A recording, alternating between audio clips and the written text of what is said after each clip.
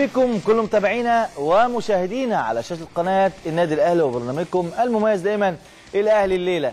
الاهلي الليلة وحلقة خاصة جدا وبسعد لما يكون معايا زملائي الأعزاء والنهاردة معايا زميل عزيز هو زميلي محمد سعيد. مساء الفل يا محمد.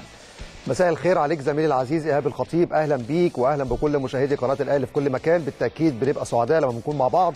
ودايما كده بتبقى جاية بعد مباريات النادي الأهلي في البطولات الأفريقية ومحققين نتيجة جيدة وأداء كمان ولا اروع ربنا يعني دايما يكمل كده الانتصارات والأفراح يا محمد ودايما تيجي كده البرامج والحلقات بعد فوز وبعد انتصارات زي ماتش امبارح. ومبروك الفوز لكل جماهير النادي الأهلي الأهلي وفاق سطيف مباراة رائعة جدا. الأهلي في ظل الغياب الجماهيري ويعني أنا واحد من الناس يعني ما صدقش إن النادي يلعب يعني قبل نهائي أفريقيا في القاهرة من غير جمهوره. بصراحة صعبة جدا لكن إن شاء الله الفترة الجايه الأمور تبقى كويسة والدنيا تمشي بشكل كويس. لكن مبروك للنادي الأهلي يا محمد. الفريق عمل مباراة كويسة جدا. واضح جدا جدا إن ضغط المباريات ابتدى يبان وربنا يسترها من الإصابات. مبروك على النادي الأهلي ومبروك على جماهير النادي الأهلي ومكسب وانتصار مهم جدا. وأكبر من هذا المكسب والانتصار حالة التلاحم والتجانس والعلاقة الطيبة اللي ما بين الإدارة والجماهير واللاعبين في نفس الوقت. المشهد امبارح في مباراة الأمس وده راجع نتيجة إن في حماس لدى اللاعبين وغيرة كبيرة جدا على النادي الأهلي إن هم يسعدوا جمهور النادي الأهلي اللي ما قدرش امبارح يحضر مباراة كبيرة زي دي مباراة نصف نهائي أفريقيا. أنا أستطيع يعني أقتبس كلمة قالها الإعلام الجزائري مشهد امبارح لا يمكن بأي حال من الأحوال يكون له علاقة بمباراة نصف نهائي دوري أبطال إفريقيا. المشهد ده كان صعب جدا لكن لاعبي النادي الأهلي كان عندهم إصرار وحماس شديد جدا عشان يفوزوا بهذه المباراة ويقدموا شكل متميز من أجل جمهور النادي الأهلي. وده اللقطة اللي تمثلت حتى في مشهد عدد من اللاعبين أحمد فتحي وإسلام محارب وأيمن أشرف بعد إحراز الهدف الثاني أكيد لعيبة النادي الأهلي وصلت رسالة كبيرة هو حال جمهورها وطبعا حال لعيبة النادي الأهلي في رسالة وإن شاء الله نتمنى يعني سريعا إذا كان في أي مشكلة عند جماهيرنا تتحل في الفترة الجاية. مباراة مهمة جدا مباراة يعني البعض كان شايفها مباراة صعبة جدا وفعلا كانت مباراة صعبة جدا. لعيبة النادي الأهلي أدوا بشكل كبير جدا لكن بعض الإصابات بتضرب الفريق من جديد. فريق بيشارك في أكتر من بطولة ضغط المباريات والالتحامات. وبالمناسبة مباراة طبعا ال- الأهلي والداخلية اتأجلت آه، في الفترة اللي جاية. طبعا دي كانت هتكون من غير الدوليين. لعيبه آه، الأهلي بيلعبوا مع المنتخب الأول مع المنتخب الأولمبي بتلعب بطولة عربية بتلعب دوري أبطال بتلعب الدوري. ففيها محمد يعني حالة من ضغط المباريات ونتمنى إن شاء الله إن شاء الله إن الأمور تعدي على خير وخاصة إن يعني يعني المباراة النهائية اقتربت. مش عايز أقول خلاص النادي الأهلي ضمن لكن خليني أقول لك إن مباراة العودة صعبة جدا. النادي الأهلي امبارح ضيع عدد من الأهداف يعني ما كانش فيه توفيق في عدد من الفرص لكن إن شاء الله الجايات والأهلي في الجزائر يقدم مباراة أفضل من اللي أداها على سبيل السلام. صحيح كانت فرصة طيبة امبارح إنك تكمل مسلسل الرباعيات دايما في رباعيات الخيام لكن الفترة الأخيرة رباعيات الأهلي في البطولات المتعددة. البطولة الأفريقية الفوز على كامبالا بالرباعية ثم الفوز على النجمة ثم الفوز بعدد المباريات ب 4-0 لكن امبارح مشهد الأمس كان 4-0 5-0 كان يبقى شيء جيد وإيجابي وتسافر الجزائر وأنت عندك أريحية بشكل كبير جدا. والشيء اللي إحنا بنطلبه من الجهاز الفني الفترة القادمة وحسنا فعل كابتن محمد يوسف أن هناك فرض وحظر إعلامي على الجهاز الفني واللاعبين خلال الفترة القادمة حتى موعد مباراة نصف النهائي أمام وفاق السيف في مدينة السيف يوم 23 من شهر أكتوبر الجاري. الإصابات والغيابات لا قدر الله الفترة القادمة نتمنى يكون العدد قليل عن الفترة الحالية. عدد الإصابات كبير جدا. بالأمس أنت بتلعب مباراة الأمس في غياب لسعد سمير ومحمد نجيب. أيضا غياب جونيور أجاييه منذ فترة طويلة. غياب عمرو السولية في وسط الارتكاز. آه، إصابة علي معلول بالأمس وحسام عاشور. صلاح محسن في الجزء الأخير من المباراة. كل دي إصابات للأسف يعني هتكون كبيرة جدا وفي توقيت صعب جدا وأنت داخل على المراحل الختامية. نتمنى يا رب الفترة القادمة مع اقتراب موعد مباراة الوفاق في سطيف نهاية هذا الشهر يكون قدر الإمكان. عدد من اللاعبين استعاد فورمته واللي في نفس الوقت خلى كارتيرون إن هو كمان يدينا إحساس إن عنده بديل يقدر يكون زي الأساسي وأفضل. ظهور هشام محمد بشكل جيد ظهور كمان إسلام محارب بشكل جيد. آه، المفاجأة في أداء أحمد حمودي مع النادي الأهلي الفترة الأخيرة مدرب يقدر يلعب بأي لاعب عنده في القائمه الأفريقية بغض النظر عن الغيابات لكن كل ما تكون الصورة مكتملة كل ما يكون أفضل للفريق إيهاب في المراحل الختامية من البطوله الأفريقية. أكيد إن شاء الله الفترة الجاية يرجع عدد من لعيبة النادي الأهلي وإن شاء الله الضغوط تقل على لعيبة النادي الأهلي لأن ال- اللي جاي صعب جدا واللي جاي مباريات مهمة جدا وخلاص زي ما نقول قربنا. لكن إن شاء الله إن شاء الله إن شاء الله تبقى في حلول الأول للأزمات الجماهيرية. إن شاء الله النادي الأهلي يلعب المباريات اللي جاية إن شاء الله على ملعبه وسط جمهوره بقى. لأن أنتوا هتشوفوا الفرق لما الأهلي يلعب في الجزائر. هتشوفوا قد إيه قد إيه يعني آه، فريق وفاق سطيف هيلعب وسط جمهوره. هيتسلح بجمهوره. وما أدراك ما الجمهور الجزائري يعني الشقيق جمهور محترم جدا لكن جمهور حماسي جدا جدا جدا. لكن جمهور الأهلي بصراحة ده جمهور عظيم جدا. فإن شاء الله الفترة الجاية نشوف جماهير النادي الأهلي تؤازر الفريق لأنها دايما دايما اللاعب رقم واحد. أكيد عندنا فقرات وأكيد عندنا كلام كتير. نحب نشوف معانا إيه النهارده يا محمد؟ عندنا فقرات عديدة والنهاردة يوم الأربعاء. أنا هسميه الأربعاء الممتاز. زي ما بنقول كده على يوم السبت في الدوري الإنجليزي السبت الممتاز. لأن النهارده عندنا فقرة استثنائية وفقرة ثابتة مع نجم الكرة المصرية وميهوب النادي الأهلي الكابتن علاء ميهوب. عنده حديث كثير جدا خلال الفترة القادمة عن مباريات النادي الأهلي ووفاق سطيف سواء مباراة الذهاب بالأمس وفوز الأهلي بهدفين مقابل لا شيء. ثم المباراة القادمة بإذن الله في إياب هذا الدور الهام جدا مباراة وفاق سطيف وعندنا فترة 21 يوم بالتأكيد هيكون في استعداد مختلف للفترة القادمة. دي الفقرة الحوارية الأولى للكابتن علاء ميهوب مع زميلي العزيز الأستاذ إيهاب الخطيب. الفقرة الثانية بالتأكيد مهمة جدا في التوقيت الحالي وإحنا عندنا أحداث كثيرة تتعلق بالمنتخب واتحاد كرة القدم والجهاز الإداري والشكل الإداري للكرة المصرية في التوقيت الحالي. وبالتالي هيكون معنا الأستاذ جمال علام رئيس اتحاد الكرة المصري الأسبق. وبالتالي نستعيد معاه الفترة السابقة وما هي رؤيته للفترة الحالية في إدارة الكرة المصرية من خلال اتحاد كرة القدم. ثم الختام مع فقرة الألعاب الأخرى مع الكابتن خالد العوضي. وعنده النهارده حديث مهم جدا مع سيدات تسله الأهلي. النهارده بالتأكيد فازوا ببطولة منطقة القاهرة وعندهم انتصارات وإنجازات عديدة. في هذا الشأن هيكون ختام النهارده مع الكابتن خالد العوضي. لكن نخرج لفاصل سريعا ثم بعد الفاصل زميلي العزيز إيهاب الخطيب مع الكابتن علاء ميهوب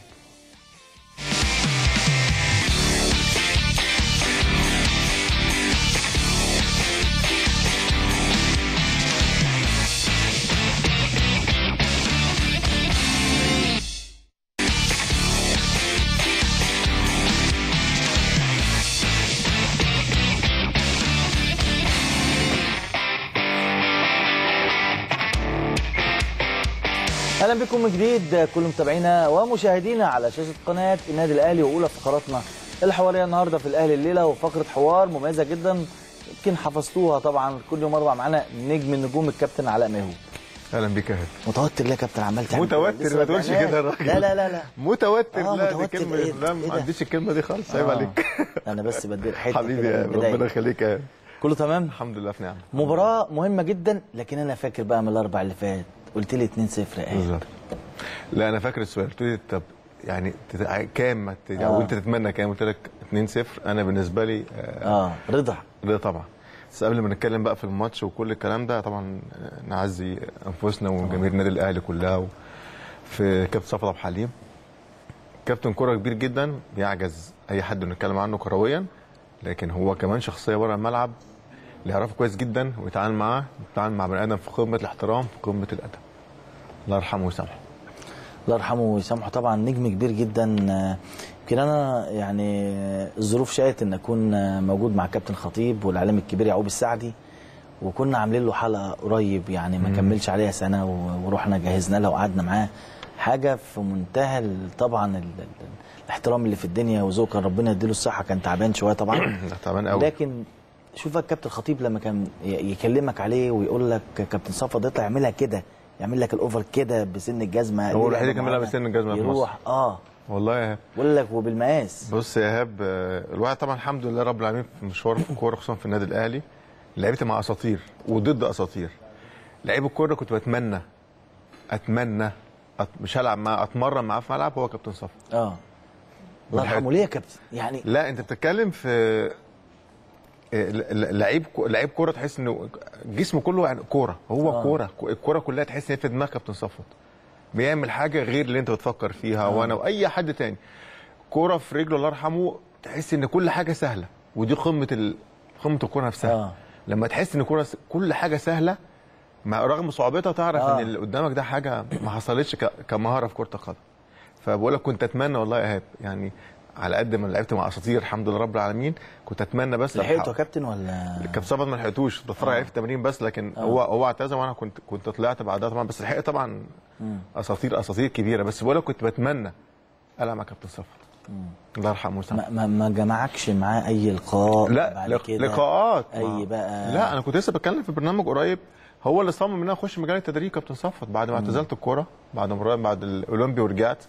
قابلني وكلمني لا انت تخش مجال التدريب. ما كانش في دماغي خالص الموضوع إيه لا يا كابتن. قال لا لا. قال لي ما ينفعش. أنا فاكر الجملة بالظبط. قال لي علاء أنا شايفك مدرب ومدرب كويس. والله يا ايهاب وكنا في النادي الأهلي. كنا في الملعب الفرع اللي كان في النادي الأهلي. قال لي أنا شايفك مدرب وهتبقى مدرب كويس. وصمم ومس... وخلاني مسكت فرقة مدرسة.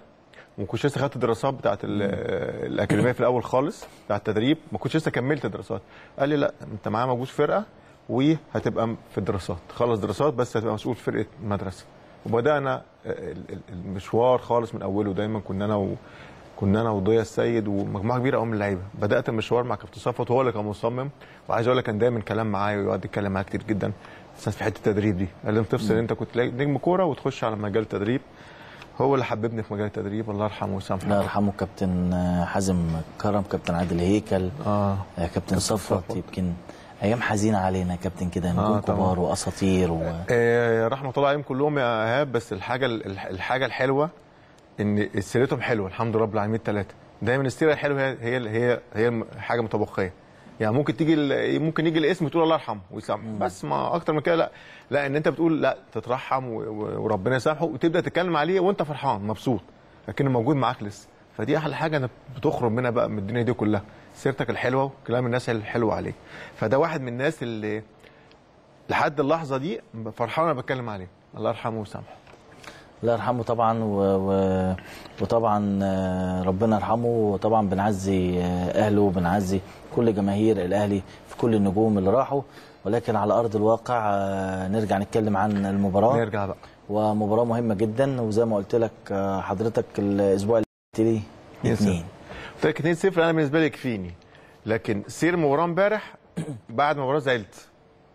ليه؟ فرصة امبارح ايهاب تكسب 4 5 تخلص من هنا. بالظبط.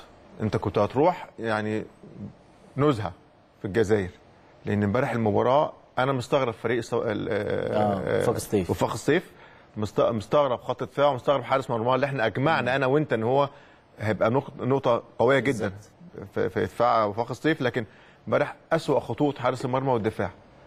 فرص كتير جدا ضاعت جدا بغرابه شديدة. المساكين امبارح كانوا مش موجودين. آه كان عندهم هو بص يا البداية بداية المباراة أول خمس ست دقائق كان وفاق الصيف هو اللي ماسك الكورة هو اللي دايما بيعمل الهجمة وكده لكن بعد كده تحس إن لعيبة النادي الأهلي خلاص بقى امتلكت الأمور تماما في كل حاجة دفاعيا وهجوميا وخلاص الملعب بقى بس لعيبة بيا يا كابتن المدير الفني اللي هو فاق سطيف يبدأ بدفاع متقدم من على حدود منطقة جزاء النادي الأهلي وضغط عليك وجامد وشكل بعض الخطورة. في الأول. وما زلت بقول إن رغم رباعيات النادي الأهلي في المباريات اللي فاتت في بعض المشاكل في خط الدفاع ولكن الفوز ما بيخليش البعض يتكلم فيها. كان بحس إن في أحيانا وبالذات يمكن الماتشين اللي فاتوا بالذات حضرتهم في الملعب يعني في في في في بعض يعني مش المشاكل لكن في دفوات كده في خط دفاع النادي الأهلي. ممكن من ممكن سكرتيرو ما يتكلمش عليها على في الصحف أو على الملأ. لكن بينه وبين اللعيبة دايما زي ما بقول لك أنا كنت بتكلم برضه معاك هنا دايما هنا. بقول لك المدير الفني الناجح بيفكر في السلبيات القليلة اللي كانت موجودة ويعالجها. إيجابيات كتير جدا امبارح. لكن في سلبيات انت كنت في امبارح وشايفها ايهاب هو أكيد بيعالجها لكن ما يقدرش يتكلم. يعني بينه وبين لعيبته في الملعب. وده أصح حاجة من وجهة نظري. هو بتعالج سلبياتك في الملعب مع آه، لعيبتك. نظر الأول تشرح وتوقف الصورة وتبص وكده وبعدين تبدأ تاني عملي في الملعب. لكن امبارح إجابات كتير جدا.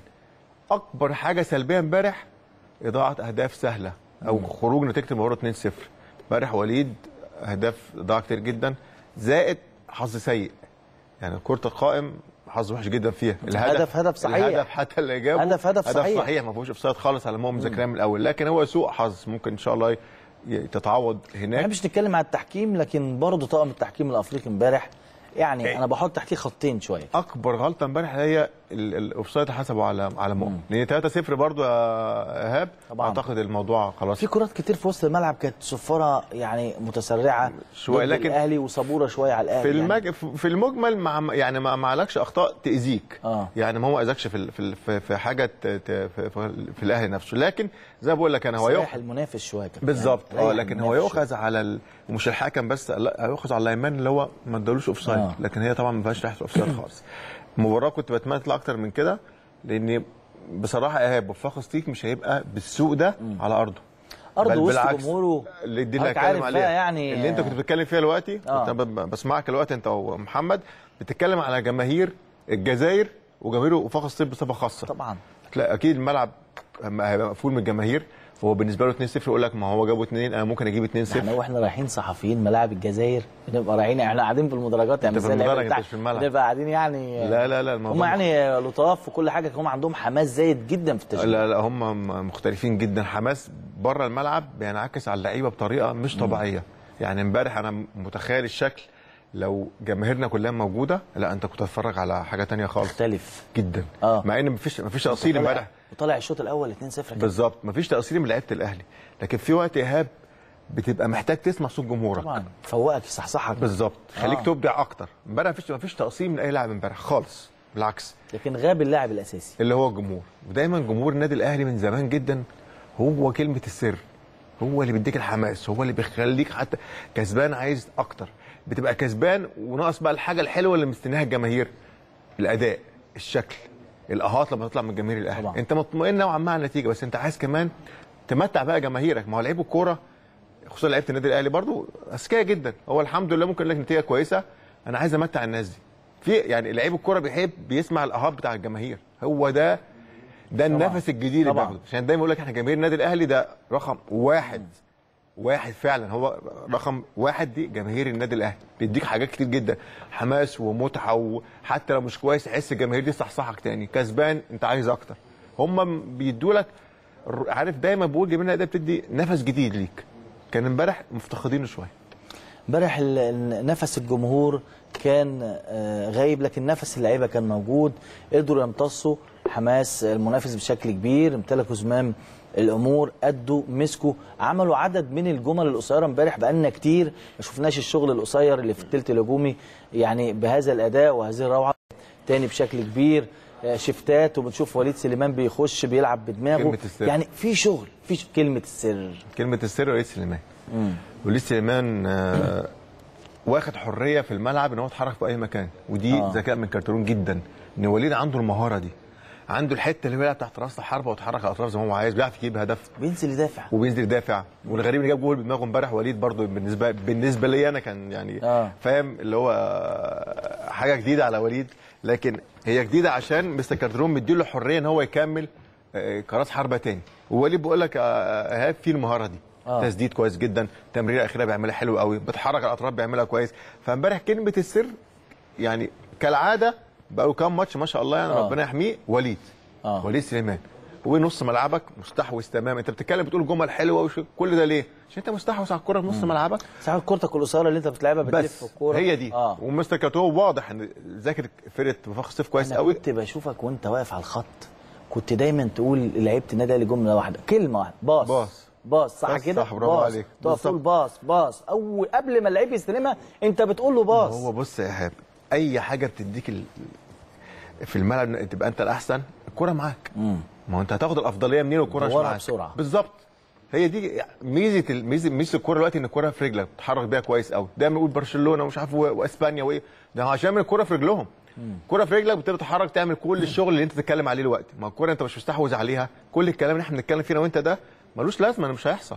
لكن أنت مستحوذ إمبارح أهداف طريقة لعبك الهجومية كتير قوي منوعة كويس جدا. أحمد فتحي امبارح ما شاء الله على الجانب الآخر معلول طبعا تحركات وليد إسلام امبارح.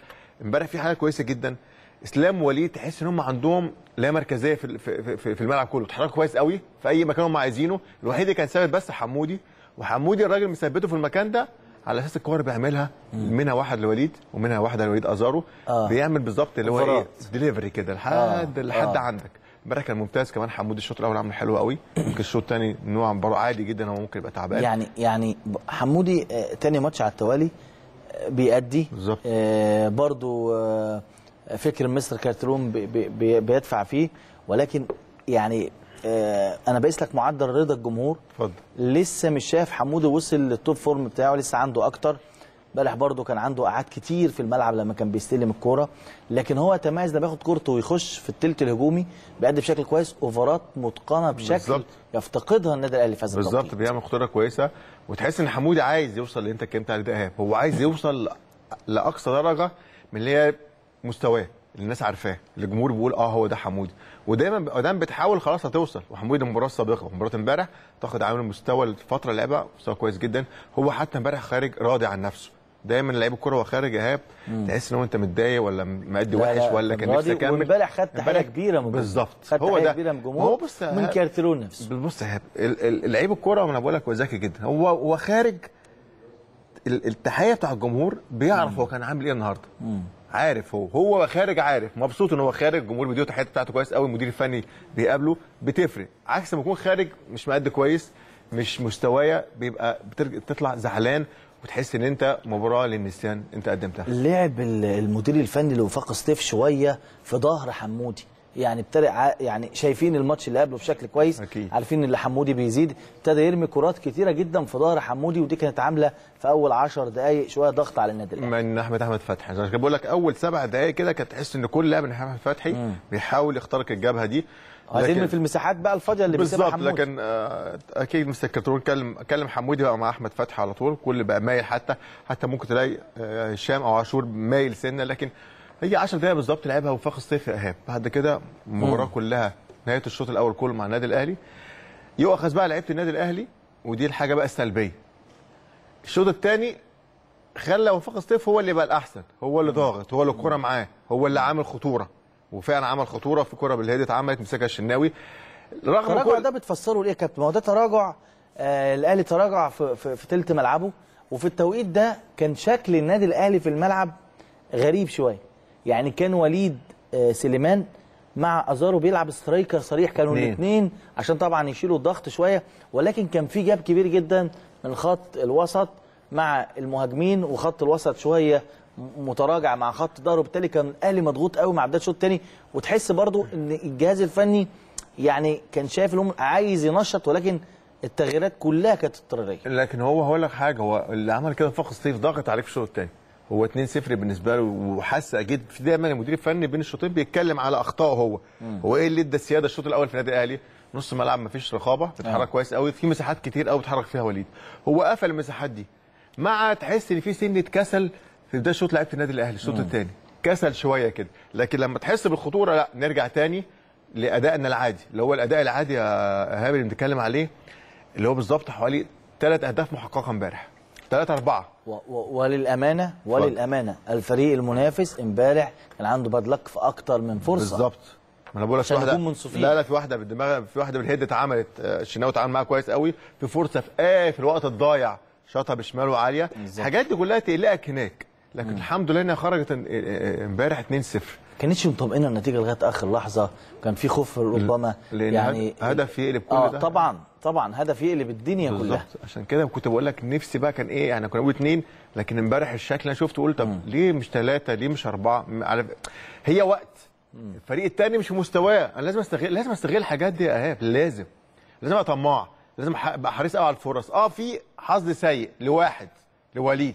بيعمل كل حاجة لحتة الهدف. وعلى الهدف اللي جابه offside لكن لازم كانت في حتة يعني هدف آه، مش offside تسلل واحدة في العارضة. يعني برضو عمل في اللقاء. ما هو عمل هو ما بيسكتش آه. هو ده في كوره رجع غطى ورا اللي كوليبالي اتقطعت منه. بالظبط. هو ده لعيب الكورة. آه هو ده إحنا بنتكلم عليه. ما هو ما هو برضه كان يعني عارف انت عاجبني ان انت ب... اللي اللي يعني اللي أنا بفكر فيه انت ملاحظها. معاك. ملاحظة. فعلا الكره اتقطعت منه رجع ورا كوليبالي هو اللي رجع آه. الكرة بدماغه الكوره دي الشناوي صعبة يا كابتن يعني الكوره دي إحنا شفنا الكوره اتقطعت منه. كاميرا بقى ما بتجيبوش وهو عامل لا، لا. sprint غير عادي الكاميرا بتجيب اللعيب مع الكوره لا، لا، قطع sprint بطول الملعب عشان يغطي على. كورته. طيب. دي- وفي الهجمة اللي بعديها برضه قام قاطع سبرنت عكسي إيهاب ده الكلام اللي كنا بنتكلم في في الحلقة اللي فاتت أنا وأنت على مميزات وليد. حتة الروح اللي عنده حتة الغيرة حتة إن هو تحس إنه عامل مشكلة. الكره اتقطعت مني طبيعي جدا أنا كرأس حربة اتقطعت مني عادي. آه. في لسه خط والتاني ورايا. بقى هنا. بس هو بقى مسؤولية وهو بالنسبة له مش عادي. اتقطعت مني لا ما ينفعش. رجع رجع الكوره تاني للشناوي وكمل تاني. فهي دي بقول لك حتة الغيرة وحتة إن هو لا ما ينفعش أنا يبقى عندي أخطاء زي كده. في حد يقول لك عندي أخطاء؟ مش مشكلة رأس حربة أو مهاجم في حد هيقطعها تاني. لكن هو ما عندوش دي. عشان كده بقول لك دي مميزاته. دي الحاجات الحلوة اللي فيه. مستر كيرترون تتفق أو تختلف إنه آه، أحيانا بيتأخر في تغيير عدسه. أيوه لازم بقى شوية. آه.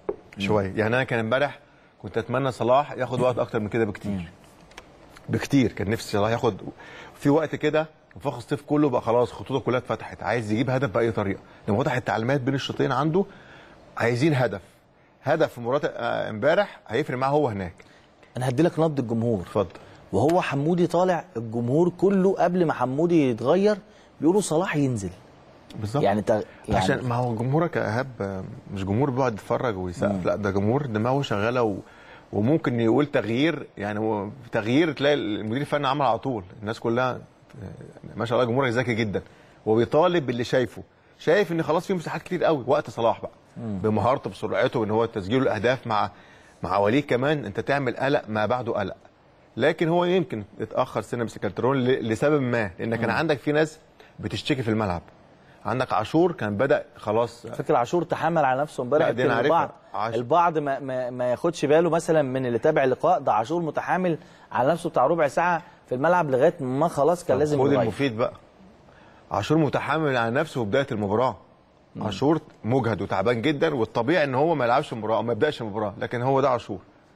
نجم من نجوم النادي النموذج اسمها بقى. من لعيبة النادي الأهلي. طبعاً. راجل متحمل على نفسه لكن مستر كالدرون بيسيبه لآخر وقت. لو حد خلاص إن عاشور وجوده في نص ملعب إيهاب حاجة ضرورية جدا. طبعاً. واللي عاجبني كمان واضح إن بقى في تفاهم بينه وبين هشام محمد اللي هو عوض له حتة عمرو السوليه اللي إن شاء الله يرجع بالسلامة يا رب. إن شاء الله. فهي دي اكرم امبارح لما لعب لازم نديله حقه. كان شكله حلو. تحس في اكرم محتاج إيه بقى. عايز أسمع دي منك. اكرم محتاج ماتشات بقى. آه. بس محتاج اكرم إيه ده؟ شوية الحماس يعني ما هو- يعني الحماس ده يديله انذارات بيخش مندفع دايما. دفاع يا إما في ترقيصة يا إما في هقول. لك. آه اكرم آه عايز يلعب. في نوع في نوع لعيب ما بيلعب بيبقى الحماس عنده عاليه بس جدا. عايز يقول أنا موجود يعني أهو. بالظبط فاهمني؟ فهو عايز يلعب. لكن هو الراجل ده عايز ماتشات أكرم. وعايز دايما حد يتكلم معاه في حتة إمتى أخش وإمتى ما أخشش إمتى أبقى هادي إمتى مش هادي. لكن هو أنا بتكلم على نوعية لعيب مطلوبة جدا صغير ما شاء الله كل المميزات اللي فيه الحماسية لكن هو عايز يهدى شوية. الحاجة الثانية المطلوبة طبعا مستر كاترون أكيد أدرى. ماتشات كتير بقى للاعب ده. وهو أكيد هيجي وقته. هيكيد سبحان يعني الله يعني ال- الظروف اللي ضغط المباريات وعدد الإصابات بي يعني اللعيبة بتاخد ولكن برضه كله بيلعب تحت ضغط ولكن مع نزول آه، أكرم توفيق امبارح تاخد وسط ملعب. ال- الأهلي اتاخد وسط ملعبه وابتدى وفاق الصيف يسيطر أكتر والأهلي اتضغط بشكل كبير جدا. لأن هو أساسا راح إزاي الناس كلها لو قدام وفاق الصيف عشان بقى كمية الفرص اللي شفتها دي في آخر المباراه من اللي هو عمله ده. زق النادي التاني بيلعب كان بيلعب بثلاثه مساك واحد بس ورا امبارح وزق الناس كلها لقدام. عشان كده كان وليد علشان يبقى حرب. يبقى في ثلاثة ورا معاك. ماسكين أزارو وماسكين ووليد. وليد سليمان. بالظبط. كان وقتك عشان كده بقول لك أنا كان الوقت ده أكتر وقت في وفاق الصيف ما كانش منظم. كان ممكن تجيب هدف والتاني. عشان كده بقول لك أنا امبارح وأنا بتفرج كان نفسي التالت والرابع. لأن أنا شايف مساحات كتير قوي وممكن حاجات بسيطة جدا تعمل لك الفروقات دي. هو سبحان الله هي كانت نتيجة اتنين امبارح بس بغض النظر على الفرص بغض النظر على سوء الحظ اللي لازم بعض لعيبها لكن ده هو الحمد لله إن إن الأهلي ما دخلش مرماه هدف امبارح هي دي ما أنا بقول لك هو امبارح كل كل هم لعيب في فاق الصيف امبارح احراز هدف عشان كده هاجم بهجوم مندفع جدا جدا يعني في اندفاع. مش طبيعي غلط. أساسا وبس اندفاع غلط لأنك امبارح إيهاب يعني وجهة نظر إيه؟ اتنين لكن ثلاثة انت نهيت المباراة من هنا تماما هو المدير الفني لوفاق الصيف فرح بشكل الملعب انه فاضي خليني أقول لك آه. هو فرح بشكل الملعب انه فاضي عشان كده بدايته كانت. بالظبط. بدأ بضغط قوي. قوي قوي في بالظبط. الأول وبعدين لما لقى ضغطه ده كلفه و... و... وطلع الشوط الأول اتنين وحس المباراة عاند وعنده ده كان هيكلفه أكتر لكن التوفيق هو كان محالفه إن ما يخش مرمى أكتر. بدايته بدايته ما فيش ما فيش جماهير وعارف جماهير النادي الأهلي بالظبط. ثقة شوية عشان كده بقول لك دايما كانت البداية لوفاق الصيف أول 10 دقائق بعد كده لا النادي الأهلي بدأ يمسك الكورة. لكن هو في حاجة كمان. معظم لعيبه وفاق الصيف لازم يكون منصفين يا إيهاب مش في حالتهم. يعني مش في حالتهم خالص مش دي الفريق. كويس. الحمد لله طبعا. آه. لكن مش هم دول. عشان كده كنت بقول لك نفسي كنت آه. أخلص المباراة هنا. كل الظروف امبارح امبارح كانت في صالحك. فأنت كنت لازم يعني بس عبد المؤمن جابه اللي هو اللعيب رقم 10 اللي في النص كويس أوي. كان برضو يعني ده لعيب أشول. لا، برجليه الشمال آه لا لعيب. وبعدين بيسلم. ويستلم بيعمل هو ده سهلة. أحسنهم، هو ده آه أحسنهم. هو يعني ده ده ده ده, بتاعه. ده الخطر اللي فيهم ده أخطر واحد فيهم كمان آه ولعيب كويس جدا لكن زي ما بقول لك أنا آه، امبارح لا امبارح الأمور كلها كانت في صالح النادي الأهلي يمكن الناس دايما ال- ال- الواحد بطبيعته طماع شوية إن هو كان عايز امبارح ثلاثة وأربعة مع إن أنا لو جبت لي القعدة بتاع الأسبوع اللي فات أقول لك أنا نفسي لو. عدت اتنين اتنين يبقى كويس آه. لو ده اتنين يبقى كويس أنا ده اللي خلى مستر. كارترون بعد ما حقق اللي هو عايزه لأن برضه الراجل كان شايف المباراة يبدو بهذا الشكل ده أكيد. بعد ما حقق الثنائية في المباراة ابتدى يهدى ويخلي لعيبته تهدى وشاف إن لعيبته مجهدين قوي قوي يعني الكادر ما كانش بيجي على أزارو لكن أزارو كان بيعمل استرتشات من الملعب وإطالات لأنه برضه آه، يعني مجهد. ده أكيد آه، كنا بنتكلم برضو ان في ضغط مباريات كتير جدا على لعيبة النادي الاهلي. البطوله الافريقيه البطوله بطولة العرب لدوري وبعدين انت انت بتلعب تحت ضغط جامد جدا ضغط الفوز. آه طبعا. انت ما بتفكرش انك تكسب. ضغط الفوز ده لوحده وضغط المكسب لوحده ده حمل رهيب على اللعيب نفسه. انت متخيل بتلعب طول مبارياتك طول الموسم يا إيهاب جماهيرك بتفكرك بحاجة واحدة بس انك لازم تكسب. لا انت كفايه في البطوله الافريقيه دي الضغط كابتن انك جاي من اول مباراتين هزيمه بالظبط. وبره يعني خلاص يعني يعني يعني اللي ما يعرفش الاهلي يقول لك بره. بالظبط. إحنا كنا نقول لا الاهلي هيدخل. ما حدش قال الاهلي يدخل اول. الاهلي بيحقق وبيدخل اول, أول طبعاً في مجموعه المجموعة. الترابيزة تاني دي حقيقة. ويستعيد ثقته. كل دي ضغوط. ما هي ضغوط كلها إيهاب وضغطك الأساسي اللي هيلازمك يعني لحد طول ما بتلعب كورة في النادي الأهلي ضغط الفوز. التعادل مش موجود في قاموس جماهير النادي الأهلي. خالص. من يوم ما قالوا يا نادي الاهلي التعادل دي ممسوحة. هو دايما بيفكر في حاجة واحدة بمكسب دايما عينه على النهائي أي بطولة. عشان كده هو نادي القرن. هو النادي اللي واخد كل أكتر بطولات موجودة. هو النادي اللي عايز بطولات كتير دايما. هو دايما مرشح الأول. كل ما أنا أقوله ده ما بيجيش من فراغ يا إيهاب. بيجي من ناس قبلنا كتير وجماهير بتحب النادي الأهلي وشجع النادي الأهلي خلاص. رقم واحد هو النادي الأهلي. في حالة بقى اللي هي بين الجمهور وبين اللعيبة وبين النادي حرص الجماهير حتى اللي عارفة مش تدخل كانت مالية بره بكل مداخل الاستاد وموجودة وكان نفسها تدخل. لعيبة النادي الأهلي اللي كان عندها مسؤولية كبيرة ويمكن آه، إسلام محارب ولعيبة بعد الهدف الثاني يعني أيوة. بيطالبوا آه، إن ان إن الجمهور كده لو عنده أزمة تحل. فبالتالي في حالة حب من جميع الأطراف وإن شاء الله الفترة الجاية. تشوف دايما جمهور النادي الأهلي موجود في الملعب. هي دي الحالة اللي إحنا عايزينها عايزين حالة هدوء حالة آه، زي ما بتقول حالة حب. النادي الأهلي ما ينفعش يلعب من غير جماهيره. صعبه خصوصا في المراحل دي. انت عايز جماهيرك. عايز المساندة الجماهيرية. بتفرق يا جماعة جدا. تتكلم في قبل نهائي أفريقيا كمان. ما أنا بقول لك يعني الشكل امبارح مش ده قبل النهائي خالص. قبل النهائي ده بيبقى بيبقى عيد لوحده. استاد داوود كله مقفول والناس جاية تستمتع بالمباراة. امبارح آه الشكل يعني ظروف ما. أتمنى يا رب إن شاء الله مباراه قادمة. شاء تكون الله. الأمور كلها اتحلت وجماهير النادي الأهلي ترجع تشجع تشجع فرقتها. ان فرقتها لازم تعرف إن هي محتاجة كل تشجيع من كل جماهير النادي الأهلي. آه، المشهد اللي اللي استوقفني امبارح وحسيت إن المدير الفني بيعمله لكن بشكل مقصود ولكن هو كان عنده شيء من التوتر والعصبيه كان واضح عليه طول الماتش المدير الفني لفاق سطيف آه، مع دخولهم استاد السلام. خد الفريق كله ولفوا الملعب وهم فاضي. اداهم يعني يعني قلل رهبتهم خالص. بالظبط. عشان كده اللعيبة كانت نازلة في أول 10 دقائق بضغط غير عادي وأداء وثبات وماسكين الكورة كويس وبيباصوا كويس. ده عمل حمل جي كبير جدا على لعيبة الأهلي. إزاي بقى هنا اللاعب اللي عليه الضغط ده كله اللي هو بص لقى جمهوره مش موجود واللي هو لقى المنافس ضغط عليه وبيأدي وكورته حلوة وهو شايفه إن فرقة عالية جدا بياخد منه البساط وبيسحب الكره لنفسه وبيبدأ يشتغل ويلعب بقى كورته القصيرة وبيمتع نفسه وبيوتع جمهوره وبيحرز هدفين في شوط اول لعيبة النادي الأهلي بصراحة امبارح في الشوط الأول عدوا كل حدود التوقع. طبعا. بص أنا بجاوبك بحاجة واحدة بس. تخيل لو جماهيرك موجودة امبارح مدير الفني كان عمل كده؟ ما كانش وخلاص. ما كانش دخلهم بهذا الشكل. بس لا ما كانش هيعمل اللي انت اتكلمت آه، عليه ده كانش يخش ضغط من. البداية. لا وما كانش دخل الملعب وهو فاضي والناس لفت. استحالة. انت بتهزر؟ تخيل الملعب ده لو مقفول بجماهيرك امبارح وحضرتك ناس بفرقتك. هيطلعوا مخضوضين. يعني لو خد. لو لف الملعب خد الرهب آه. الخضة وانت قاعد في آه. غرفة الملابس بتاع صوت جماهير النادي الأهلي بتوترك أساسا من قبل ما تلعب. فلو هتشوف الملعب وتمشي أعتقد دي هو عملها عشان الملعب فاضي. بيطمن لعيبته. الملعب فاضي. طمنه. بس إحساسي برضو انه ضغط على لعيبته زيادة لأنه كنت شايفه منفعل جدا على لعيبته وحتى عمال وهو بيدفعهم علشان يهاجموا شوية كان متعصب يعني هو كان شايف إن هو عنده فرصة استغلها ما عرفش يستغلها. هو. إحساسي كده. بالظبط. لا هو ده الإحساس صح. عندي فرصة مفيش جماهير النادي الأهلي. بالظبط. لو عارف مدى تأثيرها مع لعيبة النادي الأهلي ومش عارف يستغلها.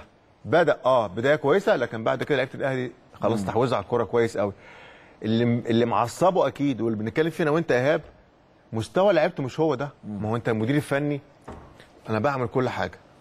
من الأسبوع بتاعه المباراة وكده لكن انت في حاجة بتتمناها دايما دايما بقول الكلمة دي. بتتمنى لعيبتك بتبقى في يومها في اليوم ده. تقول يا رب اللعيبة تبقى في اليوم اللي أنا عايزه ده. بالظبط. في بيبقى لعيب اللعيبة كلها موجودة أو معظمها زي لعيبة الأهلي. في امبارح وفاق سطيف بالظبط بره الخدمة نص نص الفريق حتى ذهنيا. يعني حتة عدم وجود الجماهير ما عرفوا أساسا برضه خلاهم في شوية هدوء شوية. فأنت امبارح ثلاث أرباع فرقتك مش موجودة بره الخدمة. الكوره مش ماشية وبتلعب الأهلي وفريق مستحوذ خلاص استحوذ على الكورة و2-0 وعايز يجيب الثالث وي وي. انت كل حاجات ضغط على المدير الفني. يا إما تبقى هادي جدا وتقدر تتعامل مع الموقف أو تبقى عصبي عصبيتك هتبان في الملعب. اول ما عصبيتك تبان في الملعب هتتنقل لعيبتك. عشان كده أكبر مشكلة المدير الفني إن هو يتعصب على الملعب بره الملعب لأن هيتنقل على طول على لعيبته غير إنك تبقى واقف هادي. مميزات مستر كاترون 80 دقيقة 85 دقيقة هو في هدوء. ممكن يبقى يتعصب في حاجة لكن دايما هو هادي. سؤال عايز أسأله لك من أول ما دخلت الحلقة وراح من بالي وأنت رجعته لي تاني. خليه بره طيب. لا لا بالعكس مش, مش اللي اتكلمنا فيه بره. لا. قول. آه مستر كارترون أنت تميل لل- للمدير الفني اللي دايما عنده حماس وبيظهر حماسه لعيبته في الملعب في التوقيت لما بيشعر بحاجة ولا المدير الفني الهادي وحماسه مع نفسه؟ يعني يعني مستر كارترون دايما عصبيته امبارح كانت مع نفسه يعني بيزعل نفسه بي بالظبط. بيبص على عشان. حاجة غلط في الملعب. آه. في مدير فني تاني عكس بيوجه حماسه ده أو النيرف ده للعيبته. أنت تحب انه في المدرب؟ أو أنت انه في المدربين؟ لا أنا أحب الم... أحب المدير الفني يبقى هادي بره. هادي بره بس مع هو واثق من فرقته. هدوءك بيجي من لعيبتك. هدوءك بيجي من فرقتك. أنا قاعد ب... ايهاب قاعد أنا هادي قاعد قدام ايهاب. فهو مديني الهدوء ده مديني الثقة دي. لو أنا مدير فني عندي مشكلة وعندي شك في لعيبتي هبقى غصب عني عصبي. عشان أنا قلت حاجات ما اتعملتش. فاهم؟ عصبي. لكن أنا يعني مدير فني النادي الأهلي أنا شايف كده. أو دايما الفرقة الكبيرة عايزة مدير فني هادي. لأن هو معاه دايما أحسن لعيبة موجودة. وبيتكلم معاهم بيمرنهم طول الأسبوع. فحتة إن هو التوجيه دي لازم تبقى بهدوء. هو واثق في لعيبته. لو أنا واثق في لعيبتي إيهاب الهدوء ده هيجي لي. لو أنا قلقان من لعيبتي حتى لو كسبان تحس إن برضو لا. اوترهم أكتر. هوترهم أكتر. أو أنا متوتر. لكن بره بره يعني بره الخطوط هادي وكل حاجة. ممكن في الغرف المغلقة بقى. أ- أوجه بس بحدة شوية. إن هو طلبت حاجة من إيهاب وكانت لازم تتعمل ما اتعملتش. أو نسي. ما تنساش. يعني في تدريب بكرة هيقول لهم إيه؟ الساعة 5 بكرة لما تدريب. التدريب ويبدأوا بقى يرجعوا هيكلمهم في اللي فات هو طبعا هيستعد لماتش ال- الاتحاد لكن هيكلمهم في اللي فات ولا هيكلمهم إزاي؟ خلاص هو قفل الصفحة بتاعت أفريقيا. حتى الأخطاء؟ حتى الأخطاء مش وقتها؟ آه. لما يجي وقتها. مش عايز هو يعني تشويش تاني على لكن ربما يكون في أخطاء تتواكب مع الأداء في ماتش الاتحاد. يعالج دي؟ بيعالج دي من خلاله كلامه على مباراة الاتحاد. يعني اتكلم اتكلم يقول وبلاش نعمل الخطأ اللي حصل في مباراة وفاق. الصيف. أنت فاهم. حتة يعني هي هيوجه من خلال مباراة الاتحاد. لكن هو قفل الصفحة الأفريقية خلاص تماما امبارح بمكسب 2-0 الحمد لله يخلصوا هناك إن شاء الله. لكن بكرة بقى استعداد لمباراة الدوري العام اللي برضو أنت زي ما لسه هعيد لك كلامي ما بتدورش غير على رقم واحد. صدارة الدوري ممتاز. مباراة مش مش سهلة. ال- الاتحاد مغير وجايب جهاز فني آه، كبير. ودي هنتكلم فيها لكن لسه ما طلعتش من مباراة وفاق اتفضل.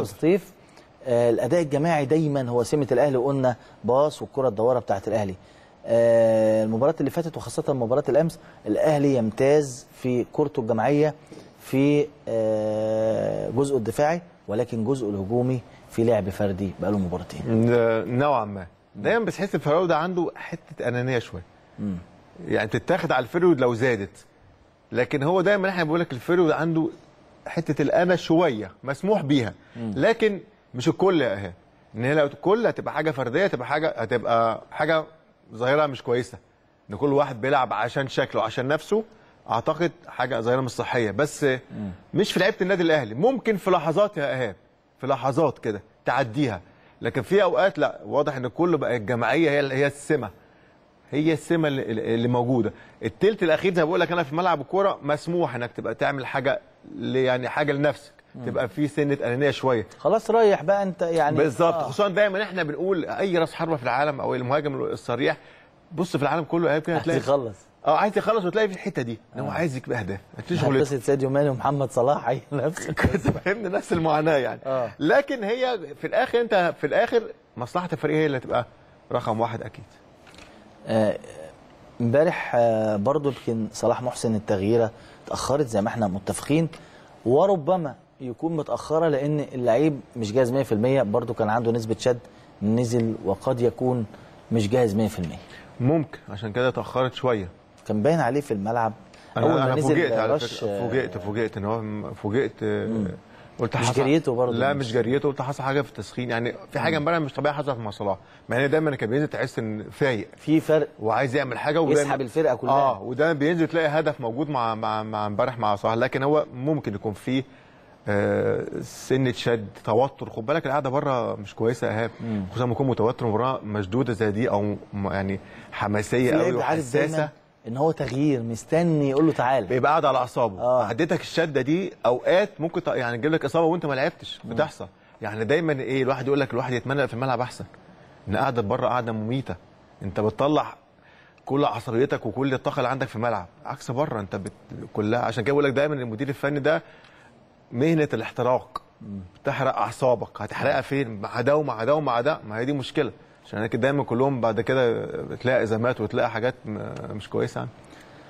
ولاد الأهلي دايما بيأزروا النادي الأهلي بشكل كبير جدا. يعني امبارح كان كابتن شريف إكرامي اللي تعرض لإيقاف بصراحة يعني يعني هو نفسه يقول لك أنا ما عملتش حاجة إن في مباراة الذهاب لحريه كوناكري آه، يبقى في عندي مشكلة وبعد كده أبقى موجود.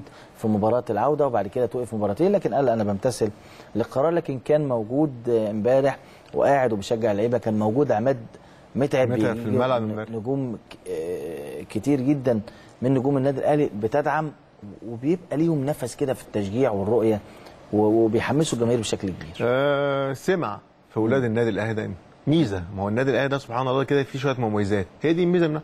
ابن النادي الأهلي متربى في النادي الأهلي تروح الأيام وتيجي وكده لكن انتمائه للنادي.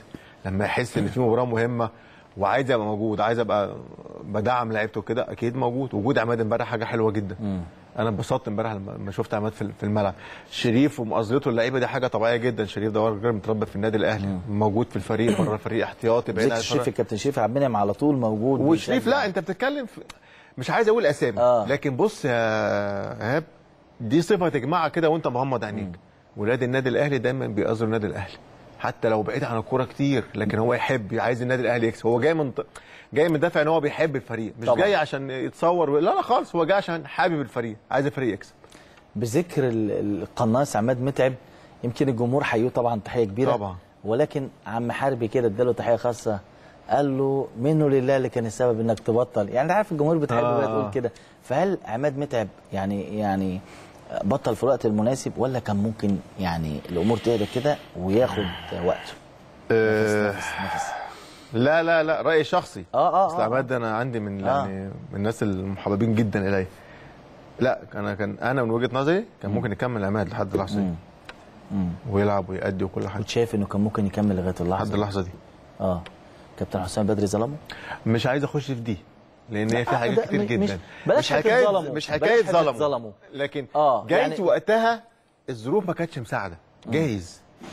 لكن حتة حتة قبلها ظلم بسنة ما كانتش مساعدة. حتة ظلم حتة ظلم يعني عماد قعد كتير حتى ممكن ما طلعتوش أعارة تشوفه وترجعه تاني تفضل مفوقه قعدته برضه فترة على الدكة وكان يجي له عروض آه، أعارة تقول له اقعد أنا عايزك لأن عماد. عايز يقعد كمان. عماد مش ما أنا عارف. بس في نفس الوقت لا منك فوقته ولا منك اديته. لكن مش عايز أقول حتة عايز أبعد عن حتة الظلم دي إيهاب. هي جايز الظروف وقتها.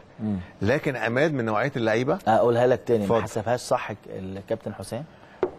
ممكن. وجهة نظره. ممكن. آه. ممكن. وقتها ممكن. وجهة نظره ممكن هو يتكلم يقنعنا أنا وأنت. لكن هي وقتها. دايما أنا بخلي رأي المدير الفني ده حاجة حاجة بتاعته هو. طبعا هو الأدرى هو اللي بالظبط. شايف. هو الأدرى آه هو اللي. شايف. لكن رأيي أنا الشخصي عماد لو أنا مدير فني عماد موجود معايا لحد اللحظة اللي بتكلم فيها معاك دي. موجود في الملعب معايا يلعب إمتى بقى ما يلعبش لكن موجود وعارف أستفاد منه كويس قوي إن عماد من نوعية اللعيبة اللي تعرف تستفاد منه كويس قوي ثقته في نفسه حاجة مش طبيعية طبعا مهاجم من الحاجات النادرة جدا اللي موجودة مهاجم مصر. هو ده اللي تقول. مهاجم. ولما بتعوز مهاجم بتقول لك إيه أنا عايز مهاجم زي عماد متعب بالظبط يعني بس بص يا آه. ايهاب والله كلام يعني لعيب الكورة لما يسمع الكلمة دي بالنسبة له هو مبسوط يا سلام أنا عايز مهاجم زي عماد متعب. عماد بالظبط. متعب هو المثل. اللي أنت بتقول أنا عايز كل مهاجمين زي عماد متعب. فدي بالنسبة له حاجة قوية جدا. وده من الناس ال- المحببين جدا لجماهير النادي الأهلي وعلى المستوى الشخصي طبعا ده حبيبي جدا كمان. الحديث لا ينقطع عن وليد سليمان وأحمد فتحي. لكن واضح كده إن إن إن مع أجيري والجهاز الفني الجديد أيوه ده ده عايز نفس جامدة دي. مش نفس خالص ده أساسا موضوع موضوع سخيف ومضايقني أنا أساسا. يعني بقول يعني إيه موضوع السن؟ واتكلمت فيها معاك يعني إيه سن؟ هو اللي بيحكمني في في السن؟ ما إحنا بنقول كل ماتش بيتلعب خلاص هو عدى. يبهروك بالماتش اللي بعده. بالظبط. يعني يعني تشوف وليد سليمان يبهرك. تشوف أحمد فتحي نمسك الخشب. الله أكبر طبعا ما شاء الله امبارح. ف ف يعني يبهرك. بتتكلم على يعني هقول لك حاجة. طبعا باقي اللعيبة لكن إحنا بنخص دول ماشي عشان ماشي هقول لك حاجة. حالة أنت- خاصة. أنت بتتكلم على ثلاث لعيبة حضرتك بتقول عليهم كبار في السن هم اللي بيفرقوا بيفرقوا في أداء النادي الأهلي دلوقتي. أحمد فتحي وعاشور ووليد. بالظبط. هو لازم أقول سنه كذا؟ طب ما يا أخي اعمل نفسك مش واخد بالك. يعني آه. إيه سنه كذا؟ أنا ش... اسمه أداؤه عامل إيه؟ هو أنا بقيمك بسنك ولا بأدائك؟ بس واضح إن الكورة عندنا قديمة قوي هنا. أنا بقيمك بإيه؟ بأدائك في الملعب. وأنا يا كابتن ما ممكن يبقى واحد عنده 20 سنة إيهاب معلش. آه. واداؤه وكمية جريه وعطائه مش زي مثلا وليد أو أحمد فتحي. طب إيه؟ بتحسبها إزاي أنت؟ أنا بحسب الكورة بتتحسب بالعطاء في الملعب بالأداء. لكن مش بالسن. ممكن واحد يبطل عنده 24 سنة. خلاص مش قادر. انتهى. لكن ممكن واحد 3 34 سنة ما شاء الله 90 دقيقة صح ما بيسيبش ماتش. وغير كده هو مش عالي على فريقه. ده ثلاثة بص إنهم كام؟ هم اللي فارقين في أداء النادي الأهلي مع احترامي الكامل لكل اللعيبة طبعا. لكن كل فرقة في العالم فيها اثنين ثلاثة بقول لك هم دول اللي معاهم المفتاح نفسه مفتاح مفتاح الماتش مفتاح اللغز نفسه بتاع المباراة. هم دول الثلاثه يفرقوا معاك. جدا. هو هو هو لو في مدير فني لمنتخب مش ممكن زي ما بتشوف الناس يضم لعيب مثلا لماتش يعني يبقى يبقى اللعيبة متاحة معاه. شفنا آه، بوب برادلي لما جه طلع أبو تريكة بره بعد كده رجع أبو. تريكة. شفنا برضو آه، كوبر أول ما جه طلع فتحي بره بعد كده رجعه تاني. وشفنا وشفنا وشفنا. لكن مرة يعني أجي أتكلم مثلا مع ناس في الكاس يقول لك خلي بالك أصل وليد سليمان بيلعب في نفس ال position بتاع محمد صلاح. أصل مش ع- يعني تسمع ردود حتى؟ يعني إيه؟ يعني آه, آه يعني إيه؟ أنا عايز حد بس ما آه. مين اللي قال لك بس الكلمة يعني دي عشان إيه؟ أعرف أرد كويس أنا. بعدين بقى. يعني إيه إن شاء الله؟ هو ممنوع حد يلعب في مكان محمد صلاح؟ مش كده. يعني هو بيقول لك اصل كذا أصل لو جبته وقعدته على الدكة طب أصل أنا بجيب لاعب صغير تاني أصل ده لعيب جاهز لما عاوز أجيبه. حتى تلاقي المبررات اللي بتيجي مش مقنعة. مش مقنعة. طب ما ما أنت لو واخده معاك مثلا لو قلنا مثلا ان ان إنه هو نفس pos- position صلاح في الملعب وفي ماتشات ممكن ما يكونش النجم الكبير فيها مش موفق. وتبقى محتاج تنزل حد أو أو. لا ما هو بالكلام ده ما تقدرش تغيره ومش موفق يبقى أنت خلاص ما خلاص. أنت كده جاوبت على في كل قناعات ها؟ آه أنت جاوبت على كل حاجة. في قناعات. آه آه. النجم مش المفروض أجيب آه. حد مكان كل جهاز فني بيجي بيبقى عنده الله. قناعات. يا ترى القناعات دي بيجيبها من نفسه وهو جاي لنا مش عارف حاجة ولا بتبقى من الجهاز اللي معاهم هو واضح إن هو جاي لنا مش عارف حاجة والجهاز اللي معانا هو مش عارف حاجة. من الآخر يعني. مم. حاجة حاجة يعني أو الاجابه دي بصراحة حاجة تحزن يعني ولا الرؤية في الملعب الناس موجودة في كل ماتش وبتتفرج على ده بيروح. يقضوا وقت ما هو أنا أروح معلش يا إيهاب هو أنا لما أروح الملعب أنا بروح الملعب ليه؟ أتفرج أشوف صح؟ ورؤيتي بره غير بتفرج على في بس التلفزيون هم أنا أنا أقول لك على حاجة بقى. وأنت بتكلمني أنا آسف أنت مش واخد بالك منها هعيدها لك هو أنا رايح ماتش الأهلي امبارح وأنا كده كده واخد قائمه المنتخب اللي جاية طب أنا رايح الماتش امبارح ليه؟ عشان تقول أنا بشتغل وأروح وأجي بس ما أنا بقول لك أنا لسه ما, بتكلم. يعني هو هو على عارف انت إيه؟ عارف انت إيه عشان نخلص القصة دي؟ آه. عارف انت إثبات حالة؟ أيوه بس يعني على حضور. الأقل كان ااجل الإعلان ربما لا قدر الله لعيب اللي أنا عامل حساب عليه لعيب يتصاب العكس تماما لعيب يبقى أنا شايفه بالشكل الكبير في مباراة قوية زي دي قبل نهائي أفريقيا وبشوف اللعيبة وشايفهم قبلها يا تاني سيدي رايح اثبت حالة. كام رايح اثبت حالة. تحس في واحد موظف مستنيك بره ال بره ال هيزعلوا الاستاد. منك أنت، مش لا هيزعلوا. مني مش ما يفرقش معايا. بره الاستاد. امضى. أنا أنا وصلت أنا وصلت أنا وصلت. أنتوا بتهرجوا أساسا. يعني إيه قائمة؟ المنتخب طلعت وأنا صراحة أتفرج على المباراة وفي دماغي مش هاخد حد. وأحسن ناس اللي أنتوا ما بتفكروش فيهم. زي برضو بالظبط في الزمالك. زي معلش لازم أقول في اتنين في الزمالك. أنا أستغرب. آه، محمود علاء ويوسف آه، أوباما. أوباما. أنتوا عايزين إيه تاني؟ طب ماشي. وليد عشان كان معلش عشان كان عدي. الكلمة دي بقى. لا مش قادر مش مستوعب عديها عديها. وليد ما بتاخدش وخلاص. عديها. طيب خلاص أوكي. طب أنت شايف أوباما ومحمود علاء طبعا. يستحقوا؟ طبعا. ما هي فيها ايهاب الكورة أصلا ما فيهاش واضحة. الكورة لعبة واضحة ومتشافة كل حاجة. ليه ما تاخدوش منتخب دول؟ معلش أنت واخد محمود حمدي على محمود علاء؟ لا طبعا. لا. غلط. أنا بقول لك غلط. محمود علاء ولا حق يروح المنتخب. يوسف أوباما لازم يروح المنتخب. من حقه يا جماعة من حقه. شكله وأداؤه في المباريات أقول لك و... أقول لك على حاجة كده. أنت عمال تقول لي على حاجات كتير آه قوي. آه. في في التدريبة الأخيرة للمنتخب قبل مباراة النيجر علي جبر جات له واحدة بيشوطها كده بتاعها قلشت في التدريب. سلجادو سلجادو طبعا اللي إحنا مش عارفين لغاية دلوقتي هو وكيل أعمال اللاعب هو وكيل أعمال الراجل ولا. بقى المدرب رسمي. لا اتنين الاتحاد عارف يفيدنا ولا حد عارف في واحد، ولا واحد. بنشوف سلجادو ده خالص إنما المهم قال لأجيري قال له لا ما تلعبش الراجل ده بكرة. ما لعبش. أنا أنا واعي أنا بقول لك إيه. أنت بتتكلم بجد؟ والله حصل. طيب خلاص. يبقى ف- كده خلاص لا يعني دي تكات كده بتبقى في بعض الأمور. تكات إيه؟ دي بلاوي. تكت إيه؟ آه. دي, دي بلاوي أنا مش هتكلم لا. ما هو واضح إن هو أصلا علاقته بالراجل قويه جدا جدا جدا جدا. سلجادو آه طبعا. ما درجه ما اكله عيش. طيب.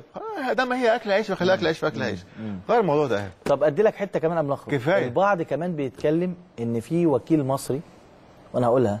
يعني البعض شايف ان إن ممدوح عيد هو قريب من الراجل وهو اللي جايب سلجادو فبالتالي برضه اللعيبة اللي قريبه من ممدوح هتلعب الفترة يا الجايه ريتني وديت مع ممدوح. تصدق فاتتني دي؟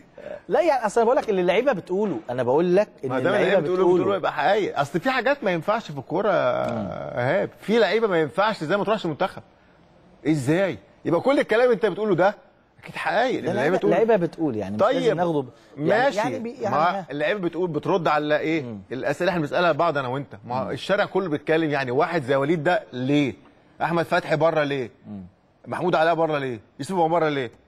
عاشور اللي تقريبا لو غمضت عينه هيلعب لك في الحتة دي من غير أي عاشور مشكلة. مظلوم دائما في عز يعني غريبه قوي دي. آه في كل المدربين ما شاء الله. عاشور ما تعرفش. ليه. عشان آه. في اتنين موجودين يعني هم دول خلاص. هو ده دول الكوره يعني. هم دول بيلعبوا كوره هم الاثنين هنهزر ولا إيه؟ ولا عشان ده مش محترف. وبعدين ده في النادي الأهلي. كفاية إن هو في النادي الأهلي. أحسن من أي احتراف في أي حتة. لا ده كفاية. وتاريخه لا تاريخه كلاعب مبارياته الدولية غريبة جدا. وبطولاته. لا عاشور ده عاشور ده يا حدث ولا حرج يا كابتن؟ يا إيهاب لا لا لا عاشور ده أنا اكتب له كتاب. يا إيهاب أنا بقول لك يعني وصل لمرحلة يعني تغمض له عينه وتحطه في نص الملعب. هيلعب. الحتة بتاعته دي. آه. إنما أنت بتاخد أسامي وده محترف مش عارف إيه وده محترف فين محترفين إيه؟ هو الم... عشان أنا محترف لازم أجي المنتخب. حتى لو بعرف... حتى ما بلعبش في فرقتي حتى لو ما بعرفش ألعب أجي منتخب. ما ينفعش طبعا. طب نرجع لايه لل آه، برضه. آه آه عشان خلينا في إيه؟ الحاجة أنا- الصح. آه أيوه خلينا خلينا في آه. خلينا كده نتكلم حاجة. هادية آه، ضغط المباراة زي ما بتكلم مع حضرتك الضغوط زايدة شوية وبالتالي بداية الاستعداد لمباراة الاتحاد المقبلة أعتقد ان ان إن الجهاز الفني هيبدأ يغير شوية في الاستراتيجية لو يشوف في قصة التدوير اللي بيعملها يتأكد من إصابات لعيبته هتقعد قد إيه لأن ال- اللي جاي صعب جدا في ظل الغيابات دي هو مش تدوير يبقى إجباري يا إيهاب إنك عندك إصابات كتير وعندك مباراة مهمة جدا لسه في الجزائر فما ينفعش تعمل أي مجازفه الفترة ال- ال- القادمة. لكن زي ما بقول لك أنا اللي مطمنك ومخليك نوعا ما هادي إن دايما في عندك نجوم ونجوم كبيرة قوي كله عايز يلعب. يعني أكرم ده هتجيله فرصة فرصة كويسة. وهو مستني دي. دايما لعيب الكورة الذكي يستنى الفرصه دي. لما تيجي يظهر نفسه. امبارح التشكيل اللي بدأ بيه ده كان الأمثل؟ ممتاز. ممتاز. مفيهوش غلطة. خروج ناصر ماهر. مفيهوش غلطة. لأن هو لاعب نفس التشكيل المباراة السابقة. فما ينفعش. مشيت مع حمودي خد فلازم عشان. عايز. آه لا ما هو بص يا ايهاب هو ممكن خد المباراة بس ما كانش كويس لكن لا مش المباراة أمس لا اللي قبلها لعب وكان كويس. مباراة امبارح لعب وبدأ. أنا حمودي أنا كويس. فما ينفعش أنا واحد بعد ما يفوق نجم زي كده وأنا مقتنع بيه كاترون مقتنع بحمودي جدا وهو فعلا لعيب مقنع ما ينفعش أروح مقعده ما ينفعش أغير في تشكيلة امبارح ما ينفعش. خصوصا إن الوقت قصير جدا. لكن مباراة الاتحاد غير. غصب عنك هتغير في التشكيل إصاباتك وتحضيرك لمباراة الجزائر المهمه جدا بالنسبة لك عشان كده في تغيير. لكن زي ما بقول لك تغيير في نجوم جديدة وموجودة وهيلعبوا وهيثبتوا نفسهم. يعني زي محمد شريف لعب مباراة ال- النجمة وهدف ما فيش ففي لا ما عندكش يعني أنا أنا عن نفسي مش قلقان. ما شاء الله النجوم كلها كبيرة كله عايز يلعب وكله عايز يقول أنا موجود في النادي الأهلي. ودي طبعا ميزة. تطلع كده تحس إن هي مزروعة فيك إن أنا عايز أقول أنا موجود. دايما بنقول إن الأهلي ما بيقفش على حد ولكن أنا بختلف في نقط. يعني في لعيب بيأثر لكن ما بالك يبقى عدد من اللعيبة مش موجودين أكيد الكلام ده بيأثر على الفريق. أكيد هيأثر. لكن زي ما بقول لك ال ال النقطة اللي أنت مسنود عليها النجوم عايزة تلعب. النجوم مش عايزة تقعد احتياطي. عشان كده هي دي عارف مطمناك شوية. لكن لأ في نجم بيأثر ده في الدنيا كلها ما فيش حاجة اسمها ما بيأثرش. لكن بقول لك النقطة ده مطمناك إنك في حد عايز يقول أنا موجود أنا عايز ألعب. عكس ما تبقى مدير فني منحوس تبقى في مكان يقع منك اتنين تلاتة تبص مش لاقي. هتعمل إيه؟ خلاص. لكن الحمد لله الأيام موجودة نجوم كبار قوي وعايزين يثبتوا جدارتهم هم موجودين في النادي الأهلي. وفي حاجة كمان مش عايز يقعد احتياطي. ودي مشروع لكل الناس. طبعا. تنافس في تنافس بالظبط. هو ده بس دي دي النقطة اللي معمولة في لعيبة النادي الأهلي. على فكرة في قطاع الناشئين مش في الفريق الأول. تنافس موجود. وكل واحد عايز يلعب لأن هو كل واحد عايز يقول أنا لعبت للنادي الأهلي. بالنسبة له الدنيا طبعاً. مفيها من هنا الفترة المتبقية لغاية مباراة وفاق سطيف. كده الجهاز الفني بيحط خطته بيحط كل الاحتمالات. الورد ده علي معلول هيلحق ولا لأ؟ طب آه، سعد لو لحق آه، أجيب أيمن أشرف مطرح. علي يعني قصة التبديل والتوفيق ومن حسن حظ النادي الأهلي اللي عنده أكتر من لعيب في الملعب بي- بيلعب في أكتر من بس مركز. أنت جاوبت السؤال. أنت سألت وجاوبت. لكن هو شغله الشاغل دلوقتي الاصابات مدتها قد إيه؟ وهيتعامل معاها إزاي؟ لكن البديل موجود وبيلعب في أكتر من مركز ما عندوش أي مشكلة. يعني ما شاء الله اثنين في ال- في الفرقة بيغطوا لك آه، ست مراكز. أحمد فتحي و... وأيمن أشرف. يغطوا لك ست مراكز. بالظبط زي ما أنا قاعد بتكلم بقول لكن هو يهمه هيتعامل مع الاصابات إزاي؟ الفترة قد إيه بتاعت الإصابة؟ ويبدأ يحط خطته لحد مباراة الجزائر مش الم... مش الفترة الجاية أهي. هو دلوقتي بيبص معلول على عاشور على صلاح محسن ومطالب منه المكسب في المباريات لا المقبلة المكسب ده انت مطالب منه رغم كل الظروف اللي عنده رغم إن هو بيجهز الفرقة ما مفيش حد- حد- العودة 23 أكتوبر ما فيش حد هي مطالب منه م... م... يعني ماتش زي الاتحاد يوم الأحد آه، مباراة قوية جدا طبعا. ال... ال... الاتحاد كسبان الجونة 2-1 م... في في. في الدقيقة 3 من الوقت بدأ الضايع شغال بشكل كبير جدا كابتن حلمي طولان معروف طبعا. يعني قيمة كبيرة جدا طبعا. جدا في التدريب. وراجل بيأدي بشكل كويس فما فيش حاجة سهلة جاية. لا ما فيش حاجة سهلة وما عندكش اعذار موضوع اعذار دي عشان أنا مضغوط مبارياتي ومش عارف وعندي إصابات وكده ما بتتقالش في النادي الأهلي. عمر ما مدير فني جه قال أنا عندي أصلا عندي إصابات كتير وعندي اعذار وكده هو ما عندوش كده. هو اللي عارف إن هو عنده لعيبة عايزه تلعب ما بيلعبش غير على حاجة واحدة بس. الدوري مولع. مكسب. لما لما لما بتروجيت يحرز الهدف الأول وبعدين بيراميدز يبقى 2-1 وبعدين بيراميدز يبقى 3-1 وبعدين بتروجيت يبقى 3-3 ويطرد أحمد حسن من على الملعب. إيه اللي بيحصل؟ خلص المباراة خلاص؟ خلص المباراة 3-3 3-3. آه. حلو دوري حلو. حلوة حالة حلوة جميلة. بص انت بتتكلم عليها وأنت مستغرب إزاي. حالة حلوة موجودة في الدوري الممتاز. جميل. حالة حلوة. طبعا. حالة ال- ال- ال- الش- الشد مع مع الفرق وفي لعيب وفي فريق كده آه، في منافسة ومعمول له حساب وكده. ليه لأ؟ حلو. زي أنا فاكر كلامك. قلت لي بيراميدز مزود المنافسة و... و... وعامل الدوري. ومحلي وعامل حالة وكويس. بص يا لو هو فريق عادي انت كنت بتتكلم عليه كده؟ لا طبعا. خالص. لكن أنا عايز أقول لك حاجة. اتفضل. وهقولها بجد ما فيش فريق عادي في الدوري. لا. بصراحة الدوري السنة دي مختلف يا كابتن. كل الفرق جونة طالع حصان أسود. كان ماشي عليه بشكل كويس ماشي- وماشي رائع جدا. الاتحاد كابتن محمد عمر كان ماشي كويس. هو الراجل شاف ما يكملش. كابتن حلمي طولان. أول ماتش على الجونة بيلعب بشكل كويس. لا حلو. كل ده كل كويس. الفرق حلوة قوي كويس. كل الفرق دي كويس.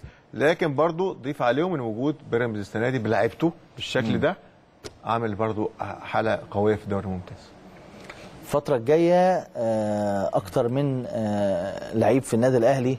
آه، طبعا التقييم الطبي هي- هيشوف ال- الأمور ماشية إزاي. ال- الجهاز الفني وهسبق ال- الظروف شوية وهو بيلعب في الدوري هيبقى عينه على مباراة الجزائر. آه هيبقى عينه على المصابين. هيوصلوا إمتى؟ لكن هيركز في مباراة الاتحاد. لازم ايهاب لازم يبقى فيه فصل. لازم. هو هيفصل عشان يفصل لعيبته. لأن اللعيب بيحس لو هو مش مركز في مباراة الاتحاد ويفكر في الجزائر غلط. إن مباراة الاتحاد دي دوري. يهمك إن شاء الله مكسب. أساس مكسب في مكسب وتسافر وأنت الأمور كلها كويسة. لما يحصل حاجة غصب عنك هتتأثر بالنتيجة. للأسف هتتأثر. هتتاثر انت كلعيب الجماهير الجماهير ما بتقبلش حاجة خالص. بقول لك جماهيرك عايزة مكسب. فلازم فصلت وفاق سطيف مبروك امبارح بتفصل هو ده طبع النادي الأهلي كده. من زمان وإحنا على كده أهي. بتفصل بتعرف تفصل كويس قوي المدير الفني بيعرف صفحة بتتقفل. اقفل لحد ما آه. يجي وقتها. لكن دلوقتي أنا رايح على فين؟ على الاتحاد. هبدأ أتفرج على الاتحاد هركز معاه شوف ربنا. يكرم إن شاء الله, إن شاء الله. تاخد البطولة الأفريقية إن شاء الله إن شاء الله ما رب. منعش هتقفل الصفحة هتكمل الدوري بتاعك هتبدأ البطولة الأفريقية الثانية اخد بس الاولانيه آه.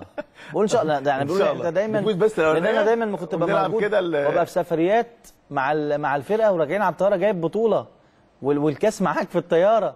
الكاس بيخش في الشنطة. عارف والله عارف. اللعيبة وإحنا نازلين قبل ما الطيارة بتنزل بياخد معايا التدريب ودنيته. أنا عشت الحاجات اللي دي. لا تفرح بكرة شكرا. أنا عشت الحاجات دي عشتها كلاعب وعشتها كمدرب. عشان كده لما بتكلم معاك بقول لك لا الفصل دي حاجة موجودة. تبقى جاي والدنيا كلها هيصة. الناس كلها شايلاك بتروح تنام تاني يوم انت عندك مهمة جديدة. هي ده أدرك و- وأدرك الحلو على فكرة إنك تبقى موجود في النادي الأهلي مش وحش. طبعا. هو أدرك كده. تكسب بطولة تقفل مطالب ببطوله تانية. عشان كده هو النادي الأهلي. هو نادي البطولات. أصل نادي البطولات والكلمة اللي بقولها دي ما جاتش في, في يوم وليلة. لا دي ناس عارفة عاملة إيه؟ مزروع جواها حاجة واحدة بس. أنا عايز أكسب أنا عايز بطولة. بطولة بتخلص بدور في الثانية بطولة بتخلص بدور في الثانية عشان كده تحب تحس إن لعيب النادي الأهلي دايما عايز يكسب. عايز بطولات. اللي بتتكلم عليه انت عليه ده فرحان وكده لكن بيقفل على الكاس أو حاجة اللي جابها مبروك. تعال نبص عندنا إيه؟ عندنا بطولة تانية. هنلعب على البطولة دي. وأنت عندك خبرات وعشت الأجواء دي. المباريات الكبيرة اللي زي دي اللي بتبقى مع شمال أفريقيا طول عمرها ليها ذكريات. طبعا.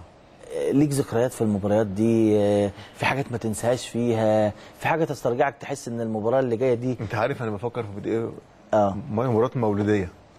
مولودية وهران كان آه، كنا كنا كسبنا 3 1 هنا وبنلعب هناك في أجواء يا آه، إيهاب. الطبيعي. والله العظيم مش طبيعية. لا ما هو دي الأجواء آه، الطبيعية ملعب يعني. مقفول وبعدين آه. آه. آه، مولودية دي كان فيها بالظبط حوالي ست لعيبة منتخب الجزائر في عزه. لدرجة إحنا بنيجي نتكلم مع بعض في الملعب إحنا ما نسمعش بعض. كان معانا كابتن آه، كابتن جور الله يرحمه. بس ده كمان بينزلك الملعب يا إيهاب أنت عبارة عن شعلة نار. عارف يعني إيه؟ اللي هو أنا مش فارق معايا حاجة خالص. أنا كل اللي هعمله 90 دقيقة لازم أطلع بأحسن نتيجة ليا أنا. وأنتوا في الملعب مش سامعين بعض. خالص. والله العظيم آه يعني لا لا لا, لا. مش سامعين بعض. بتكلم مع مع, مع كابتن مجدي وكده وكابتن خطيب مش سامعين بعض من كتر من أول ثانية. لا مش من أول ثانية. وأنت بتسخن لحد ما لحد ما المباراة انتهت صوت الجماهير. فعشان كده بقول لك آه، الأجواء آه، هناك أجواء آه، صعبة جدا. والله وأنا بكلمك بداية الحلقة أنا الذاكره شايف. أنا والله شايف. شايفها. شايف المباراة كده. لكن الحمد لله 2-0 ب- بمجموعة اللعيبة دي ربنا يكرمهم إن شاء الله ويرجعوا مبسوطين يا رب. وأنت جاي قلت إيهاب هيسألني في إيه؟ وإيهاب ما سالوش هقول لك على سر. أنا وأنا جاي من بيتي وجاي لك والله العظيم. ولا بقول هتسألني في إيه ولا عايزك تسألني في إيه ولا حاجة خالص. أنا بحب كده حتى ما بكلمكش وإحنا جوه بنطلع. وإحنا جوه بنفضل أجي أكلمك في حاجة؟ لا خالص. حاسس إنك ب- بتتوهني. أهو م- بتوهك لحاجة واحدة بس. أنا بحب الحد... الحوار بيني ما وبينك يبقاش مرتب. لا خالص. اللي تمام. بيجي على دماغي بسأله وأنا هجاوبك فعشان كده الحمد لله الحوار بيطلع كويس جدا والوقت بيروح بسرعة لكن أنا مبسوط. ما بحبش أعرف أسئلة بحب أتكلم معاك على طبيعتي. أنا دايما ببقى سعيد معاك الاربع يا ده. بالنسبة لي حلقة جامدة لا يا جدا ربنا يخليك و و وبشكرك شرفت يا. ونورت يا ودايما بسعد بيك وكل الجماهير بتسعد الحمد لله، الحمد لله. بيك يا كل. يوم يخليك. حبيبي يا حابب. تقول أي حاجة بنشكرك اشكرك يا اب والله جميل بس أنا. بستنى يوم الأربعاء ده على فكرة عشان ألتقي بيك وجماهير النادي الأهلي الحبيبه والفترة دي أنا عايز أقول لك أنا ببقى في منتهى السعادة وأنا بتكلم على جماهير الأهلي وبتكلم على النادي الأهلي اشكرك كابتن شكرا يا لحضرتك. طبعا فقرة مميزة جدا كل يوم أربع مع الكابتن علاء ميهوب. دايما اللي بتسمعوه مع الكابتن علاء صعب تسمعوه في أي حتة. خلونا نطلع فاصل وهناخد بقى فقرة مميزة جدا. هناخد فقرة مع واحد من قامات الكرة المصرية. دخوله لقمة إدارة الكرة المصرية. كان دخول مفاجئ جدا واتقال كلام كتير ولكن كانت قراراته وإدارته وريادته فاجأت الناس كتير جدا. فجأة بعد عن المشهد بشكل كبير لكن كل قراراته اللي كان بياخدها داخل اتحاد الكورة كان منها سبب كبير جدا مع المجلس الحالي إن نوصل كأس العالم. أستاذ جمال علام رئيس اتحاد الكورة السابق بعد الفاصل في حلقة مهمة جدا وكواليس وأسرار فقط في الأهلي الليلة.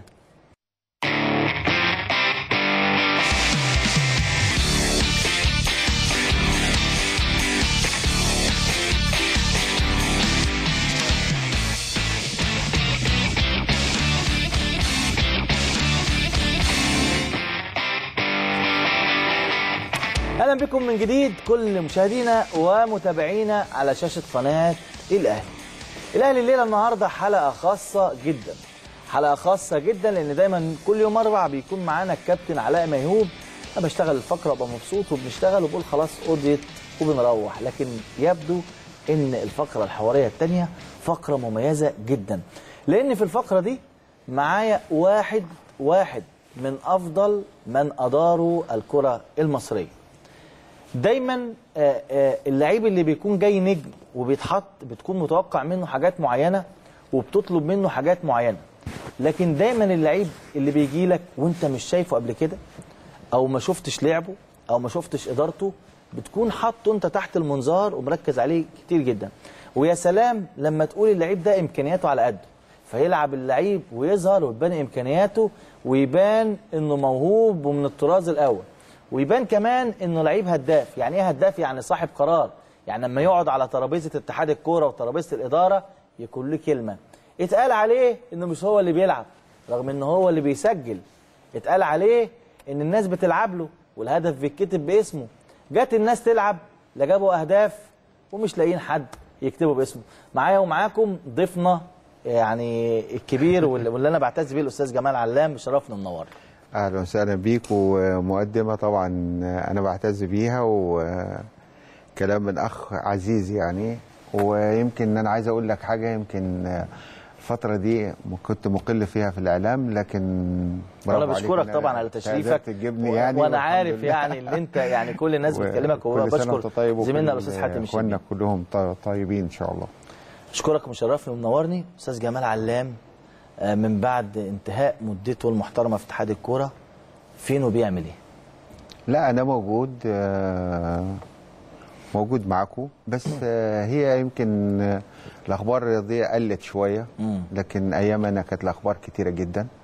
آه، مش فاهمها. موجود موجود لا أنت أنت فاهم كل حاجة مم. يعني أنا عايز أقول لك الناس حاجة مش فاهمينها طيب آه يعني الفترة اللي أنا كنت فيها كان يمكن الإعلام بسلط أكتر بط- بطريقة أكبر كمان آه آه كنت يوميا. مستباح؟ آه كنت مستباح. آه. آه أي حد يقول أي حاجة وخصوصا ان كمان أنا إيه ما عنديش دراية بالإعلام ما كنتش طبعا موجود مع الإعلام بصفة رسمية معاهم. وفي نفس الوقت الإعلام كان آه، حس ان ممكن آه، آه، الشخص اللي موجود آه، مش قد المسؤولية مش هيقدر يأثر. زي ما تراهن علينا أنا مش ممكن ما كنتش هكمل أكتر من ثلاث شهور وهمشي. آه. فالحمد تزعل لله. مني لو قلت لك إن أنت أول ما جيت قالوا عليك إن حضرتك جاي ستيب؟ لا أنا ما زعلتش. آه. والكلمة دي يمكن ما زعلتنيش يمكن أنا حبيت إن أوضح مرة واثنين وثلاثه ولكن الناس خلاص. مم. آه، حصرت فكرها في في حاجة معينة بس كان عندك تحديات كتيرة ونجحت فيها وعودة الجمهور وعودة الروح و... لا أنا بس أجاوب لك على الحتة دي لأن الناس كلها كانت مفكره فعلا إن أنا جاي آه، ناس جايبينه تعالى أقعد وخش آه. في الموضوع ده لكن آه، ويمكن طلعت مرة وما أعرفش عندك ولا معاك وأقسمت يمين إن أنا آه،. يعني الناس دي ما أعرفهاش. دي فعلا لا أعرفها أسماء لكن آه، واتخذت في الفترة اللي أنا دخلت فيها الانتخابات يمكن أنا دخ- دخ- دخلت تحدي فعلا لأن كان مرفوض المفروض إن أنا أخش عضو من أعضاء المرشحين في القائمة عن الصعيد لكن آه، بتوع الصعيد بتهيألي اللي كان ماسك المسؤول عنها الله يرحمه يعني عن القائمه وإعدادها ومن الناس اللي تخش من الصعيد كان عنده آه، حاجة رئيسية إن جمال علام ما يكونش موجود. هل هو دي دافع شخصي من عنده أو دوافع من الخارج إن ممكن جمال ما يبقاش موجود. فخدت على نفسي عهد إن أنا آه، هشوف بس المشهد قاعد بتفرج على المشهد اللي متقدمة. فأنا شايف الناس كلها في حروب مع بعض يعني وخصوصا على منصب الرئيس. فقلت طب أنا بقى ما دخلتش عضو هخش رئيس. ورحت فعلا مقدم رئيس. ودي يمكن آه لأول مرة برضو هقولها معاك. آه لما جم القايمة عشان يختاروا الرئيس فكانت بعد خروج الكابتن هاني وخروج ال- ال- اللي هو محمد عبد السلام أصبحوا في ثلاثة على الساحة يعني أنا والكابتن أسامة خليل والكابتن إيهاب صلاح. شايف صالح. فاللعبه فين؟ أو قصدي أقول تجمع جم- الجمعيه العمومية الأعضاء بتوعها مع مين وفي يد مين؟ ومين يقدر يحشد الجمعيه العمومية؟ فكان طبعا كابتن هاني آه، عنده الحشد. طبعا. فلما قعدوا مع بعض قالوا خلاص إحنا هننتخب أعضاء ومش هننتخب رئيس مم. فده الرد على السؤال بتاعك لأن أنا ما كنتش استبن لحد. ولا كنت احتياطي هو. مش سؤال أنا أنا طبعا وأنا عارف أنت جيت إزاي وجيت بعرقك آه، وكل حاجة بس. لكن كان- بيطرح بشكل كبير جدا آه، آه، و- وتالت، وأنت رديت. على ده في إدارتك لا تالت ليه؟ لأن في الفترة دي كان في ال- ال- اللي بيحكم مصر اللي جه الرئيس اللي مسك مصر مسك كان احتياطي وكان استبن لحد تاني. آه، فراحوا هو كان ماشي بلوف آه ساعتها، فراحوا آه. قالوا الاسلوب إن أنا جاي استبن لا أنا ما كنتش استبن لحد أنا دخلت وفعلا كانوا هينتخبوا أعضاء بس بدون رئيس. ولكن عضو من الأعضاء اللي موجودين قال لهم طب لا إحنا لو أنت ما انتخبناش رئيس وممكن واحد من الثلاثه يفرض علينا من الجمعيه العموميه إحنا نشوف مين الأقرب لينا فيه نتكلم معاه ونجيبه ونبقى نقعد معاه ويبقى من ضمن المجموعة. فبالتالي راح اتصل بيا كابتن حازم إمام ربنا آه، حازم آه، آه، الهواري ربنا يفك أسره طبعا. اتصل بيا ليله الانتخابات قال لي جمال إحنا مجتمعين وعايزينك. قلت له خير. قال لي بس تعال. فرحت هناك قال لي الجمعية العمومية كلها في هنا متجمعة في فندق معين وإن شاء الله بإذن الله أنت هتكون آه، القائمه بتاعتنا هتبقى أنت رئيس رئيس القائمه ده ليله الانتخابات لأن كانوا في ثلاثة مرشحين طبعا. فأنت لازم تختار عضو واحد من الثلاثه فبالتالي كانوا هم بالنسبة لي. أنا بشكرهم طبعا وشكرتهم مرة واثنين وثلاثه مش الكابتن هاني بس كابتن هاني وكابتن شوبير وكابتن حازم الهواري. وخدوا قرار خلاص جمال علام آه، اللي كان هيديه كابتن هاني يدي جمال علام وفي نفس ال- الاجتماع اتقال كده. قال لهم كابتن هاني أنا نيابة عني أنا اللي كان عايز يديني يدي جمال علام. فأنا بشكره فعلا بس دي قدرة ربنا. يعني هو ربنا اللي كان عايز ويمكن يمكن كمان في صالح الكرة المصرية كان في الفترة دي إن محتاجة هدوء ومحتاجة حل حلول سهلة لأن ما كانش في كورة ما كانش في آه، تفاهم حتى حتى إحنا كنا في عصر صعب جدا. تغيير كمان الوزراء بتوع في, في نفس المسافة وزارة الداخلية آه، كذا. وزير داخلية يمكن خمسة اتغيروا علينا وثلاثه وزراء ده كل ما. توصل لاتفاق مع حد آه يتغير على طول تتغير ترجع. النشاط إزاي وعندك مشكلة بين الأهلي وبين المصري وإزاي توصل ال- المشكلة دي هنتكلم فيها ويمكن من ضمن الحاجات اللي إحنا فكرنا فيها لما رجعنا الكورة وبعد ما رجعت النشاط الكروي وقف تاني واتحرق الاتحاد وبعد كده رجعنا في حاجات كتيرة جدا. هنتكلم فيها براحتنا فترة يتعمل فيها كتب. لكن أنا ما كنتش أنا عايز أكد أنا آه، مش استبن لحد ما كنتش استبن. لكن فعلا أنا بشكر الناس اللي وقفت معايا كويس. الناس الناس اللي وقفت معاك ولما وقفوا معاك قال لك طالما بقى هم ساعدوه هو الراجل كان مخلص وليلة الانت- آه، الانتخابات جبناه وساعدناه. ربما علشان كده قال لك ان الناس دي بتدير معاه الاتحاد على الترابيزة. طيب آه يمكن آه مش عايز ارجع أقول في مواقف كتيرة بينت ان مفيش حد كان بيدير ولكن آه أنا أقسمت مرة واثنين وثلاثة إن عمره ما الكابتن هاني أبو ريدة ولا أي حد ولا كابتن شوبير ولا كابتن حازم اتصل بالتليفون وقال لي إحنا عايزين الحاجة دي. آه دي آه ليهم هم. الإدارة كانت إدارتي أنا سواء صح أو غلط أنا بتاعتي أنا. أعتقد إن أنا عملت على قد ما أقدر. آه، جيت في ظروف صعبة جدا. طبعا. آه، جيت لقيت الاتحاد كمان آه، لا في آه، منتخبات المنتخب عندك مش واصل كأس العالم ل 25 سنة. وصلت آه، نفس الحكاية المنتخب ال- مش هيواصل أمم أفريقيا آه، دورتين والدورة اللي أنا داخل فيها على طول آه. راحت وقفت خلصت. ما دخلش اللي هو مع مع كابتن برادلي برضه ما آه، وصلش. آه، نتيجة إن ما كانش في كورة أساسا وما فيش آه، معسكرات ومش قادر تطلع بره مصر. ولا قادر تجيب فرق داخلية في مصر. فكانت صعبة جدا. لا التخطيط اللي عملناه وصلنا بيه أمم أفريقيا وصلت لغاية أمم أفريقيا. يمكن في نفس الدورة قبل ما أطلع إن إحنا وصلنا أمم أفريقيا بس أنا ما رحتش معاهم الجابون.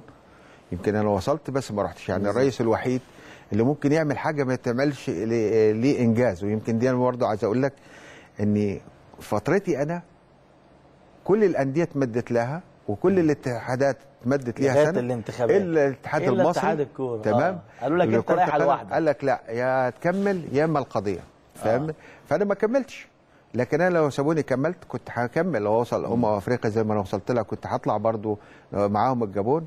وكان كأس العالم كنت أنا مشيت في المباراة التمهيدية ووصلنا فيها وخدت والجابون ده منتخبك اللي كوبر. وصل لقبل النهائي يعني ده منتخبك آه. وده شغلك وصلت آه لا وكأس العالم كمان أنا رحت أنا وكوبر في القرعة حضرناها هناك في روسيا إن إحنا خلاص إن شاء الله بإذن الله ويمكن كان في حاجات معينة الصورة المشهورة اللي أنا صورت له على 2018 روسيا إن أنا أروحها وقلت له دي المهمة عندنا ودي كانت بداية التعاقد مع كوبر قلت له إحنا وصلنا امم أفريقيا كتير فما تهمناش إن أنا اوصل برضه أمم أفريقيا قد ما تهمني إن أنا أوصل كأس العالم. لأن كأس العالم 28 سنة أو 25 سنة مش عارفين 26. نوصل؟ 26 فإحنا عايزين نوصل الم- المرة دي. فقال هنبدأها واحدة واحدة. نخش أفريقيا وهنخش إن شاء الله كأس العالم. وصل افريقيا وكأس العالم. أنا ماليش دعوة بالطريقة الفنية بتاعته. يوصل كأس العالم يدافع ال 11 دفاعية، يدافع آه. قدام الملعب آه. قدام حارس المرمى وما ما كانش بيشغلك ال- ما كانش لأن أنا كان هدف واحد إن إحنا آه. نوصل والحمد لله وصلت امم افريقيا قبل ما أطلع كوبر؟ يعني أكيد كان عندك ناس كتير وأكيد كان بيعرضك ليه ليه, ليه رفضت اولا المدير الفني المصري ما اديتوش؟ ليه اخترت أجنبي وليه كوبر بالذات؟ لا أنا ما فضلتش ال- ال- الأجنبي الأول أنا جبت مصري تمام. بعد برادلي على طول جبنا المصري اللي هو الكابتن آه، كابتن. شوقي غريب. تمام. وكان ظروفه صعبة جدا إن هو يستمر في وحط الوضع نواه الحالي. عمل نواة. حط نواة صح والظروف صعبة لكن برضه ما وصلش في امم افريقيا لكن آه لما جينا بقى في التشكيل الجديد بعديه على طول قلنا لا خلاص المنتخب المصري آه المدرب مصري المصري خلاص نجيب مدرب آه أجنبي.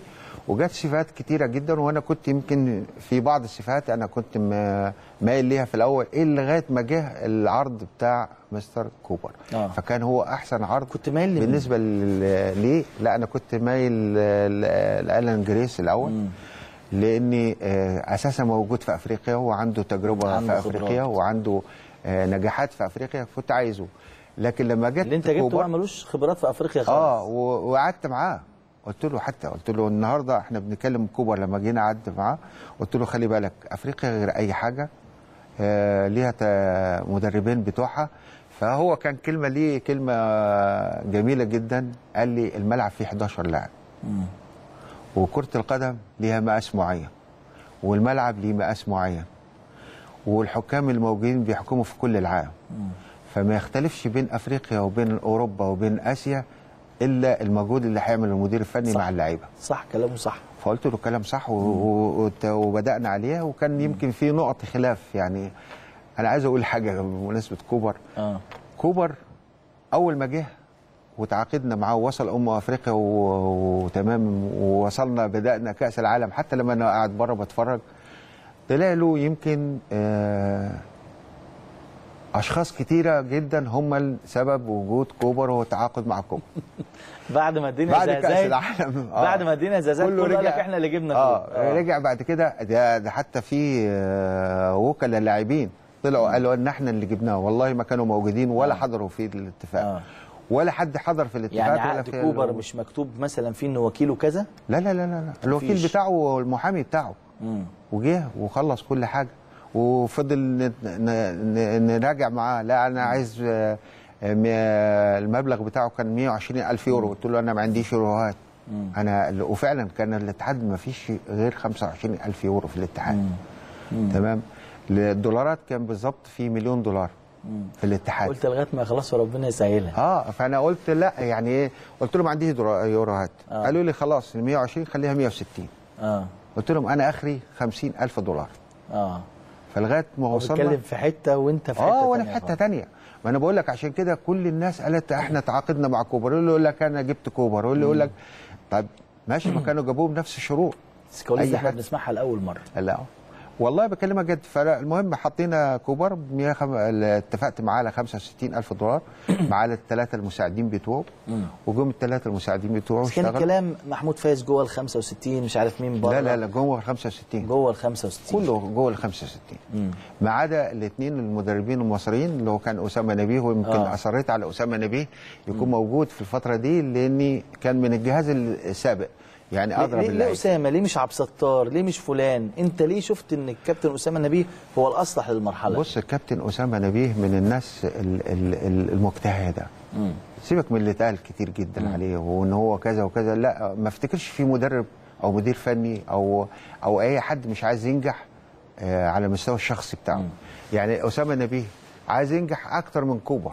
يعني حاسس عايز الناس تتكلم عليه أكتر من كوبر لأن هو عايز ينجح. فالنهارده آه، أسامة نبيه لما كان في الجهاز اللي قبله كان هو معاه آه، في نفس الكارير بتاعه ال- الكابتن عبد الستار صبري مظبوط فلما جينا إحنا قلنا خلاص ما هو أم، يعني مدرب مساعد مش هينفع لا الكابتن شوقي غريب ولا الكابتن علاء نبيل. الناس آه، فلازم تجيب حد من دول فأسامة الكابتن أسامة نبيه كان يمكن يشتغل أكتر مم.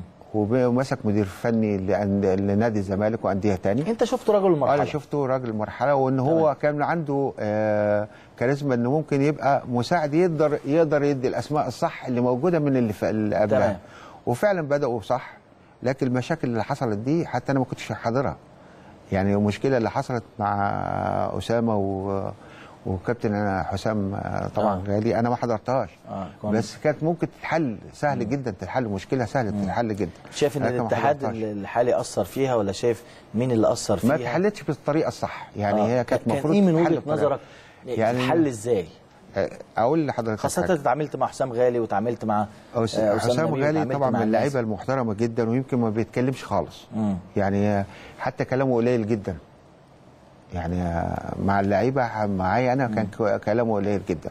ولكن أنت بتشوف بعينك آه، آه، نوعية الشخصيات اللي قدامك. ويمكن أنا من ضمن الحاجات اللي هي نفعتني في الفترة اللي أنا اشتغلت فيها آه، معرفتي الجيده إن أنا ممكن أحلل الشخص اللي قدامي إيه. فالمهم كابتن حسام غالي ليه تركيبة معينة؟ تركيبته إن هو مثلا شخص معتز بنفسه قوي وعارف نفسه وعارف قيمته وعارف إن هو لاعب كبير جدا وعارف مكانته. تمام؟ آه، كابتن أسامة برضه في نفس الوقت أنت حاطه خلاص في كارير مدرب يعني تمام. في الجهاز الفني إن هو ليه كلمة ولازم تاخدها. فما كانش فا... ما كانش ينفع إن أنا يعني لا أعلي ده على ده ولا ده على ده. بس المهم إن أنا أعرف أوفق بينهم الاثنين عن طريق المكالمة وفي نفس الوقت هو يتحل جواهم. يعني جوه الجهاز مش بره. يعني مع اللعيبة ما ما تطلعش بره النطاق. إن أنا المشكلة كبيرة جدا أبتدي أحلها كان ممكن أحلها من الأول. لو, لو أنت كنت موجود كنت حابب إن يكون حسام غالي مكمل ومكمل طبعا. مع المنتخب في المونديال طبعا. طبعا. طبعا. آه، آه، يعني بصرف النظر عن ان هو هيأدي أو ما يأديش. هو كقائد في الملعب لا قائد. هو كشخصية قوية جدا مع لعيبته هو شخصية. أنا بقول لك ما كانش يتكلم. هو النهارده الانضباط أنت. آه أنا بحب الانضباط لأن هو كلاعب منضبط آه عدم ال- الهزار والضحك وال- واللعيبة حتى لو كان هو بي- بيضحك بدرجة يعني معينة معاهم بس ليه كلمته ليه شخصيته. لازم يكون في آه كان قائد في في الملعب. ما انت إحنا شفنا في الملعب الأخير ما كانش في كأس العالم. ما كانش في هروح لده كله معاك لكن نرجع بسرعة هاخد من من البدايات عشان ندخل بقى في ال في ال في, ال في, ال في الشغل الكبير. والبداية إذا كان آه، أداء محدش فرض حاجة على الترابيزة. لكن آه، كنت بشعر أحيانا إن ترابيزتك مترتبة. يعني إيه مترتبة؟ يعني أنت مثلا معاك ست أعضاء أو سبع أعضاء أنت عارف إن في خمسة واخدين قرار معين وأنت في الآخر على الترابيزة صوت. هل كان في بعض الأمور ساعات بيضغط عليك بعض الأعضاء بالعدد عشان يمرروا قرار ما؟ يعني يمكن مرتين ثلاثة حسيت القرارات دي. مم. ولكن أنت آه، لازم يبقى في عندك حنكه وفكر. النهارده انت حسيت ال- ال- الترابيزة هتميلك في اتجاه معين ممكن يكون الاتجاه ده صح أو خطأ. ولكن انت بتدرس برضو الناس المعارضين ان قرارهم إيه. فانت بتشوف هنا وبتشوف هنا وأنا بحب الديمقراطية جدا في القرار. بس القرار ما يبقاش متاخد باتجاه معين. لأن هو في قرار واحد اتاخد باتجاه معين غصب عني أنا بقولها. غصب عني على الترابيزة. اتاخد باتجاه خد معين. اغلبيه ما ما انت آه خد الأغلبية. يعني بقوا أنا ح- مع معايا 10 أعضاء غير أنا. ال 10 أعضاء خدوا قرار معين. خلاص أنت قرارك اجبرت. عليه. آه اجبرت ده عليه القرار الوحيد اللي في مدتك القرار حسيت الوحيد. آه. إنك اجبرت عليه ما عرفتش تغيره. ما عرفتش غيره لكن القرار بعد كده ب... لما الاقي نقدر في- نعرف القرار؟ لا لا لا. لما آه. آه. بقيت ألاقي قرار. هو في اختيار آه، اختيار مدرب معين. اختار الكابتن شوقي غريب. اختيار مدرب معين. اختار الكابتن شوقي غريب. ما كانش لا. اختيارك. انت معارض انت مش معارض. لا أنا بس مش معارض. حسيت انه فرض آه، عليك. آه، آه. فأنا حاسس لو قعدت معاه راجل محترم جدا قبل الاختيار ما. بنختلفش على ده. أنا بص أنا لكن هقول- أنت كان أكيد ليك رؤية. لا أنا قبل اختيار المدير الفني للعرق المصري خدت صفات كتيرة جدا. وكان أقرب واحد الكابتن شوقي إن أنا أقعد معاه وقعدت معاه. واتفاهمت معاه على كل حاجة. ولكن القرار رغم إن كده أنا حسيت طالما في إجماع آه. يبقى القرار مش بتاعي بس. آه. فخلاص. لكن أنا كنت عايزه. موافقين. طبعا يعني هو الكابتن. شوقي يستحق وعمل اللي آه. عليه في الدوره دي. وأنت كنت عاوزه إيه؟ بس حسيت ان إنه كده كده جاي. ما في حد لازم يعارض. امم يعني حتى واحد يقول لك لا أنا آه. آه. أنا لقيت القرار العشرة خلاص أوكي. آه. فحسيت إن القرار ساعتها كان ده 11 0 آه. حسيت قرار خلاص يعني إيه؟ لا خلاص كابتن شوقي رغم إن أنا قعدت معاه واخترت الجهاز الفني على معاه. الترابيزة بقى في التوقيت ده. كان شايف مين مع الكابتن شوقي؟ هل أجنبي ولا هل مصري تاني؟ لأن كنت انت مرشح اتنين مصريين تاني. لا هو الغالبية كلها كانت مع شوقي. بقول لك أنا قعدت معاه قبل ما أصوت عليه. يعني قبل ما أصوت جوه المجلس أنا قعدت مع كابتن شوقي بره. لكن آه واتفقنا على الجهاز مين؟ بس انت لما تقعد على ترابيزة وتلاقي عايز تخش تناقش شوية. يعني أنا ما كلمتش ما خدتش كلمتكش أنا. آه ما خدتش رأيك مثلا أجيب مين. فأنت قعدت لقيت لك أنت بتقول لي شوقي على شوقي شوقي. فحسيت القرار متاخد الكابتن شوقي آه، مع المجموعة. آه. ما أنا- حسيتش إنها بعد كده ممكن تمشي بالشكل ده؟ لا لا لا. استحالة لأن أنا كنت برضو على الترابيزة لما أحس إن في مجموعة هتاخد قرار معين كنت بلغي القرار أساسا. واغير موضوع. آه مش هناقشه النهارده آه. وناقشه بعد كده. بس بعد كده ابتدي أعرف إن أنا هناقش إيه. أو أعرف إن أنا ماشي فين. وأشوف الصح إيه. لو لقيت الصح القرار اللي أنا هاخده. وهم حتى لو هم اللي قايلينه المجموعة كلها هو القرار ده اللي هيتاخد باخد القرار. طب ده القرار اللي حسيت ان إن أنت أجبرت عليه رغم إنه قرارك برضه عشان آه. نبقى إحنا واضحين. لو ما كانش الكابتن شوقي في هذا التوقيت كان هيبقى مين؟ آه الفكرة كانت في مطروحة كان كابتن حسام البدري كان كابتن شوقي غريب وكابتن حسام حسن. امم والثلاثه يستحقوا. أنا شوف أنا بقول لك الثلاثه يستحقوا. كنت مايل للكابتن حسام حسن لكن أعضاء اتحاد الكرة عرضوك شوية. بقول لك مش وقت. لا لا لا لا لا لا آه يمكن أنا فكرت في الكابتن شوقي غريب لسبب واحد. كابتن شوقي غريب ليه تجربة قبل كده شغال فيها واشتغل في المنتخب؟ وكانت الفترة اللي عندنا إحنا فترة ضيقة جدا. أنا شايف إن الكابتن شوقي برضه في الوقت ده وأي حد مصري كان هيتظلم لأنه فترة- اتظلم. وأنا قلت له قلت له خلي بالك أنت هتتظلم في الفترة دي لأن فترة قليلة جدا طبعا. قصيره ومش هتقدر مفيش قوام. ومفيش قوام مفيش كورة في مصر. هتتظلم فيها.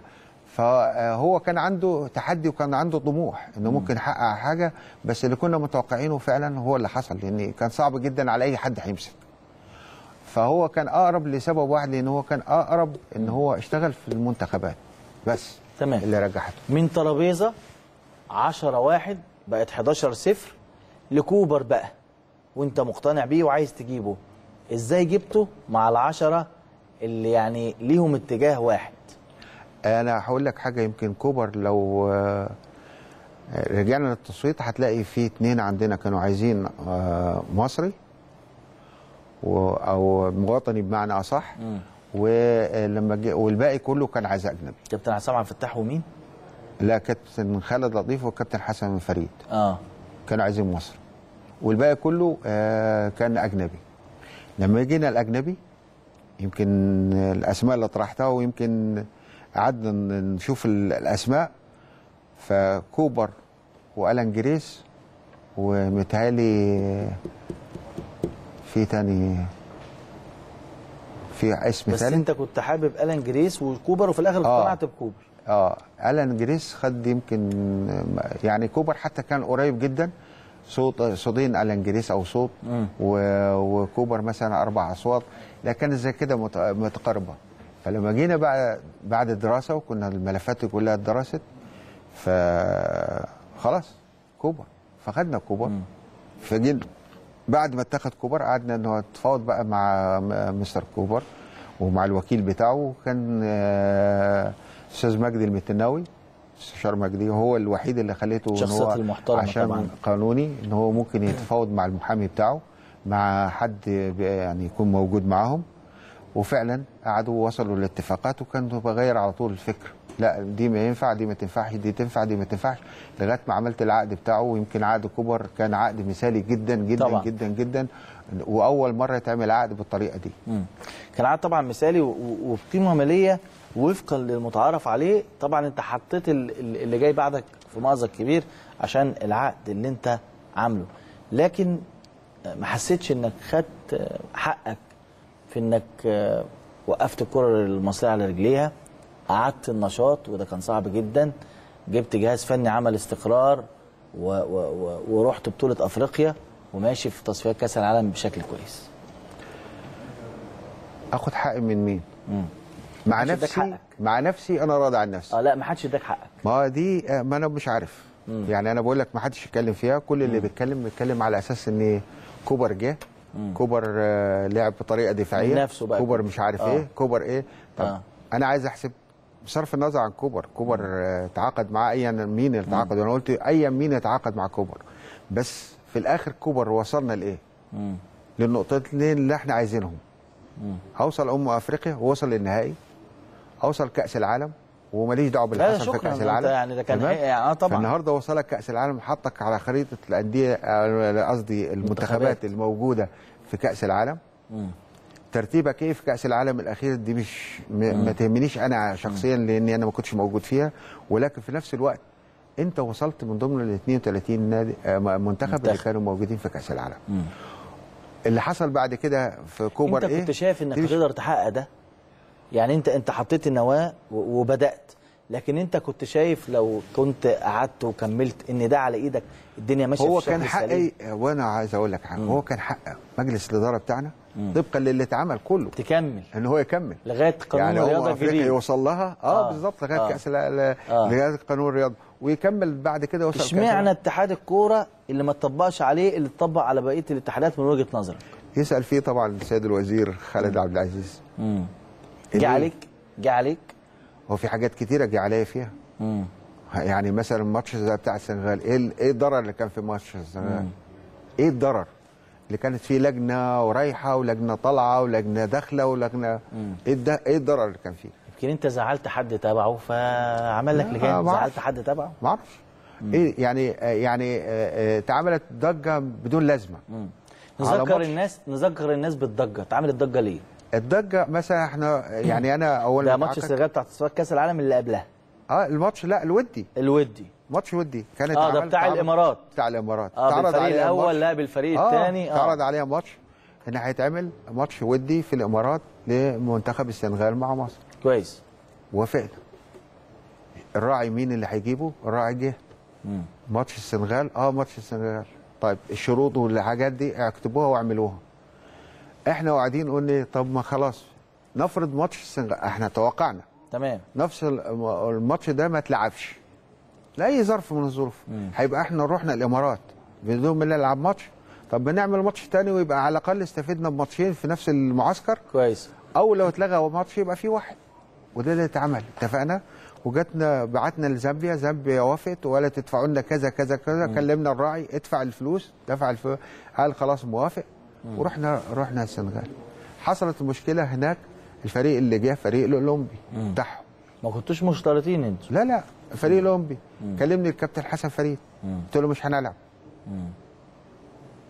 قال لي وأنا موافقك. مش هنلعب. وما تلعبش الماتش. إيه الضرر بقى اللي حصل ولعبنا ماتش زامبيا؟ يعني أنت رحت أنت في التوقيت ده كنت عايز مباراة. وفي نفس الوقت أنا ما اتحملتش لا السنغال ولا زامبيا. خزينتك ما ما, ما ولا حاجة. آه. إيه الضرر بقى؟ لا شوفوا ان السنغال والهيصه بقى اللي اشتغلت و و و نفس الموضوع حصل برضو معايا في نفس هي كانت تلكيكة. الوزير خالد قلت عبد لك- العزيز آه اتلكك لك ليه؟ أنا قلت لك حاجة. أنا كان يعني قايلين إن جمال علام مش هكمل أكتر من ثلاث شهور. ده حقيقة. تمام؟ بدأت مع آه، شركة عملت ماتش قبل كده مش عارف إيه ماتش اسمها ليها اسم معين. وقال لك لا الشركة دي الفلوس لازم اللي شرط الجزاء اللي أنتوا عاملينه عليها تدفعوه. ودفع من جيوبنا كابتن حسن فريد. راجل تحمل جزء كبير جدا آه. اللي أنا بشكره. تمام؟ آه، ما الراجل حتى دفع حط والشركة الراعيه. آه والشركة الراعية خليتها دفعت الفلوس. فالنهاردة أنت بت... يعني أنت بتدفعني ليه؟ يعني أنا عامل شرط جزائي على نفسي إن أنا لو الماتش ده اتلعب هناك آه، رحنا خلاص خ- أوكي. الشركة الراعية ما تلعبش الماتش أو ما تنفذش الماتش تدفع 50000 دولار. يقول لك خلاص خد الشرط الجزائي ادفع 50000 دولار. الشركة مشيت. أنا اللي عاملة الشرط. ما أنت اللي عامله وأنت كنت ماشي ولا. ولا اللي أدفعه. يعني وأنت أنا اللي عامله. وأنا اللي. كويس. لكن أنت شايف إن الراجل وزير الشباب والرياضة السابق اتلكك. وراها سبب؟ وراها حاجة؟ لا لا لا لا لا هو كان بيطبق معايا ال- ال- القانون صح. آه. واللوائح صح. اللوائح صح على بدون لوائح حفظ. حفظ لا، لا. الالقاب يعني. اللوائح صح على جمال علام بس؟ أنا ما شفتش بعد كده بقى. آه ولا قبل كده. ولا ببص أنا كده. آه. أنا قاعد ما- قابلتوش معاه؟ عليه لا لا. ولا آه. كده أنا كنت بقابله ونتكلم كلام كويس وحلو قوي و... كان عندك أحد الأعضاء في مجلسك كان دايما هو مش عايز أقول العين بتاعته لكن كان دايما بيقعد يفلتر معاه؟ مع الوزير؟ مع الوزير. لا بس الوزير المفروض إن حتى لو حد له وقال له موضوع لازم يشوف الموضوع بس كله. كان كل ترابيزتك هناك في الوزارة؟ يشوف الموضوع كله كلهم صحابه. آه. يجي يشوفها يعني آه. يعني حتى لما صحابه دول لجان صحابه دول قلبوه عليك ما بوقفوش معاك؟ هو هو لغاية ما أنا مشيت ما. بينليش إن هو مقلوب تلاتة مش يعني هو كان. بيتعامل معايا زي ما بقول لك باللوائح. ابعت للجنة واللجنة آه. تيجي تفتش ومفيش حاجة وتمشي. يعني حتى العقد. بتاع شركة بريزنتيشن لما حصل فيه آه، غرامات آه. أنا واخد القرار آه. يعني أنا المشكلة انت مش مغرمهم أساسا لا أنا واخد القرار بإن ممكن الناس دي ليهم غرامات قدها مبلغ قد كده بس بعد موافقة وزارة الرياضة يعني أنا بعت لك بعد موافقتك تجيني اللجنة آه وأنت قايل له أنت يعني أنا بقول له آه. بعد الموافقة بتاعتك آه. يعني خدها عندك آه. واحسبها وشوف هو طلع في الجرايد. جمال علام مجلس الإدارة يوافق مش عارف على خصم مش عارف 9 مليون و 29 مليون. آه. أنا موافق أنا ما دفعتش. ولا اتخصم من عندي حاجة ولا دفعت حاجة ولا خدت قرار بحاجة. ده أنا بعته للوزير. حلو. والفلوس دي اتدفعت في الآخر؟ لغاية ما أنا مشيت في الشهر ولا مليم الدفع. آه. وكان هو بيحارب عليهم الوزير. بعد ما أنت مشيت حارب عليهم؟ حارب عليهم إزاي؟ يعني الفلوس دي اتدفعت لا ما أعرفش. بس هو آه، اللي اتبعت لي قرار من الوزارة ان هم ليهم في حدود 400 وشوية أو حاجة زي كده. بس اللي أنا عايز أقصده إن أنا ما خدتش قرار. يعني النهارده أنا بقول لك إيه أنا هدفع آه وأنت تشوف بشرط إنك أنت توافق. آه. أنت ما توافقش. وتبعت لي ابعت لي. قول لي أنا مش موافق. لكن آه. بعت لي لجنة. والاتحاد إزاي ده يدفع؟ وهنحل الاتحاد لو كان دفع. وأنا دفعت. آه. واتعملت هيصه آه. ولا خص- اتخصم حاجة ولا اتدفع حاجة ده بالعكس ده أنا الشركة الراعيه كنت بخليها تدفع لناس تاني مم. لا لا أنا بقول لك هو اتعامل معايا باللوائح آه، متشكرين جدا أشكره يعني شايل منه حاسس لا. مش شايل أنا منه. أنا الحاجة منه. الوحيدة اللي أنا يعني اللي هو آه، أنا طلعت محترم لصالح مصر مم. آه، كان ممكن إن أنا أعمل زي أي حد وأقول إن أنا آه، في اتحاد كورة وقراري ما حدش يقدر يخش الفيفا معايا. ومحدش يقدر يجي. والفيفا ومعايا آه. جوابات رسمي. آه. والفيفا وما حدش يقدر يوقفني. وأوقف بلدي أو أكمل. تمام؟ على الأقل أكمل المدة بتاعتي. وأنا أقولها آه. أهو وكنت بكلمك في التليفون بيني وبينك عادي. قلت لي إلا إيقاف النشاط في مصر لو جت على اللي أنا أروح أقعد في بيتي. بس. هو ده اللي أنا عملته. يوم 21 5 قبل الحكم بيوم وعارف إن الحكم بكرة وهيبقى قرار نهائي أنا ال- الوزير من القرار نفسه لأن يعني أنا أنت لو رحت لل... لو رحت للجهات الدولية تقعد طبعا هقعد وبالعكس هو آه. لو طلع الحكم وأنا ما نفذتوش كان هيعمل إيه؟ كان هيبقى المسؤولية عليه هو مش عليا أنا. لكن أنا قلت لا السلام عليكم ومشيت. واتلمت يوم 21 إن أنا مشيت والأعضاء طلعوا آه، فيهم فيهم من أخطأ وفيهم آه، طبعا مسامحهم أي حد خطأ فيهم من أخطأ هم هاجموك عشان ما سمعتش كلامهم لا هم إنه آه، ان إحنا كنا متفقين إن إحنا هنمشي. آه. لكن أنا لقيت خلاص الوضع ويمكن الرسالة قدمتها كذا مرة في الحكم بالذات. ما ينفعش إن أنا أقعد وخصوصا الاتحاد الدولي بي- بيخاطبني إن إحنا مش معترفين في اتحاد الكورة إلا بالرئيس فلان الفلاني. يعني يعني. هتبقى مشكلة. تمام؟ سيب الأعضاء ما هم آه، مجلس. خلاص أنا مشيت. لو عايزين المجلس زي ما هو بالقانون وانت عايزه افتح هو هو. المهندس خالد عبد العزيز بعد ما انت مشيت حصل أكتر من أزمة قال لك ما نقدرش نحل ولا نيجي جنبهم ولا حاجة لأن دول هو قال معايا أنا ما أقدرش أحل بس آه. هي المشكلة مش في الحل هو المشكلة انت أنت حسستني إن أنا محلول مم. مم. يعني أنت شغال لما تحت بتطلع ضغط. آه أنت لما بتطلع على الهوا بتتكلم تقول إيه كرا- مح- تطلع تقول إيه بتقول آه إن شاء الله لما يطلع في حكم إحنا هننفذ القانون. ما انت حسسني ان انت عايز تعمل حاجة. ما كلمتوش ليه حضرتك وقلت له إيه الوضع؟ لا آه هي مش أنا حاسس إن. مكالمته كانت تقيلة عليه. لا إحنا أنا بكلمك بص، ما ناس طلع- صعيدة بص، زي بعض. أنا عايز أقول لك حاجة. أنا الوزير الثلاث وزراء اللي كانوا معايا كابتن عمرو فاروق وخالد بيه عبد العزيز وطاهر أبو زيد. اسألهم الثلاثه جمال علام طلب منكم حاجة شخصية حتى. لا من غير مسألة. بالعكس أنا الفترة بتاعتي اللي أنا كنت فيها الاتحاد وما كانش في فلوس في الاتحاد ما طلبتش من أي وزير فيهم دعم الاتحاد. واعتمدت على الاتحاد على مداخله مداخيله الخاصه وتعاقدت وما كانش عندي فلوس. تعاقدت مع راعي بعد ما الراعي اللي كان موجود ده متعثر تعاقدت مع راعي الراعي الثاني الجديد تمام بمبلغ صغير ودخل عندي. بعت الكأس مصر اللي كان عمره ما بيتباع كاس مصر كان ببلاش. بالظبط. بعت ماتش السوبر اللي كان برضو ببلاش بعتهم ودخلت مداخيل الاتحاد. دورت على فلوس اللي بره ودخلتها دورت على فلوس اللي في التلفزيون ودخلتها. سددت الضرائب اللي عليا من قيمة الديون اللي هي عند التلفزيون لوزاره المالية وبينهم وبين بعض عملت مقصة. بالظبط. تمام؟ دخلت فلوس تاني آه، من من بعض ال- الإيرادات في الماتشات دخلت فلوس. إنما أنت النهارده آه، هتقول لوزير الرياضة اديني فلوس. أنا حسسته إن أنا مش عايز فلوس. أنا الاتحاد وكان بيقول لي الاتحاد عندك خزينة مليانة. يعني الاتحادات اللي قبل كده كانت بتاخد إنما هو لما كان بيتكلم معايا يقول لي لا الاتحاد أنا حاسه اتحاد غني وعنده فلوس. أقول لك كلمة برضه تاخدها بطيب نفس. حاسس إن الأستاذ جمال علام راجل طيب وراجل وطني بيحب بلده. لو قلت له النشاط هيتوقف يعني هيجي على نفسه. عشان كده كان حد شوية. كان بيطبق القانون بحذافير؟ لا هو معايا أنا ما كانش حد. لأن أنا ما بتعاملش مع حد. يعني أنا آه، هو بيتعامل آه، هو كلامه بيتعامل على القانون وإن هو القانون عنده.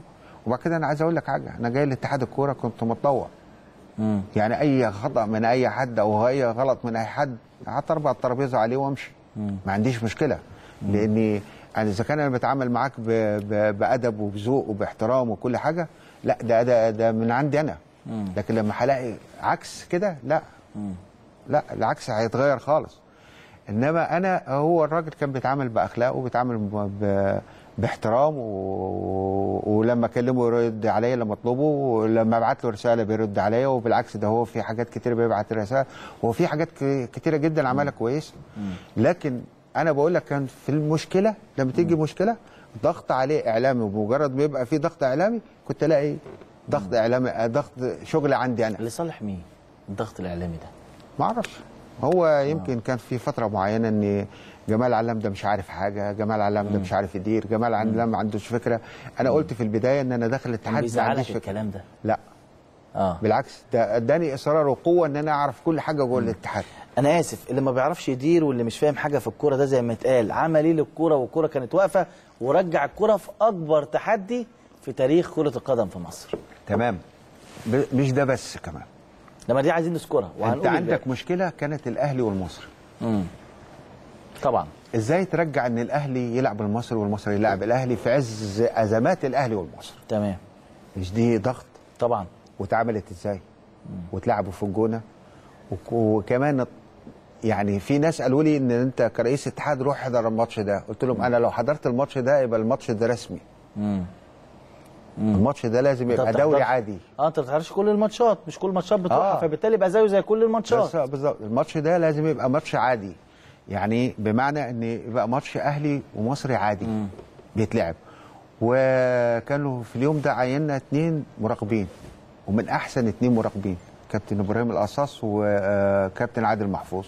الاثنين حضروا هناك واتصلوا بيا في الماتش قبل الماتش. طبعا أنا يعني هتقول لي أعصابك كانت حديد؟ لا كانت أعصابي مهزوزة كنت خايف. خايف من الماتش.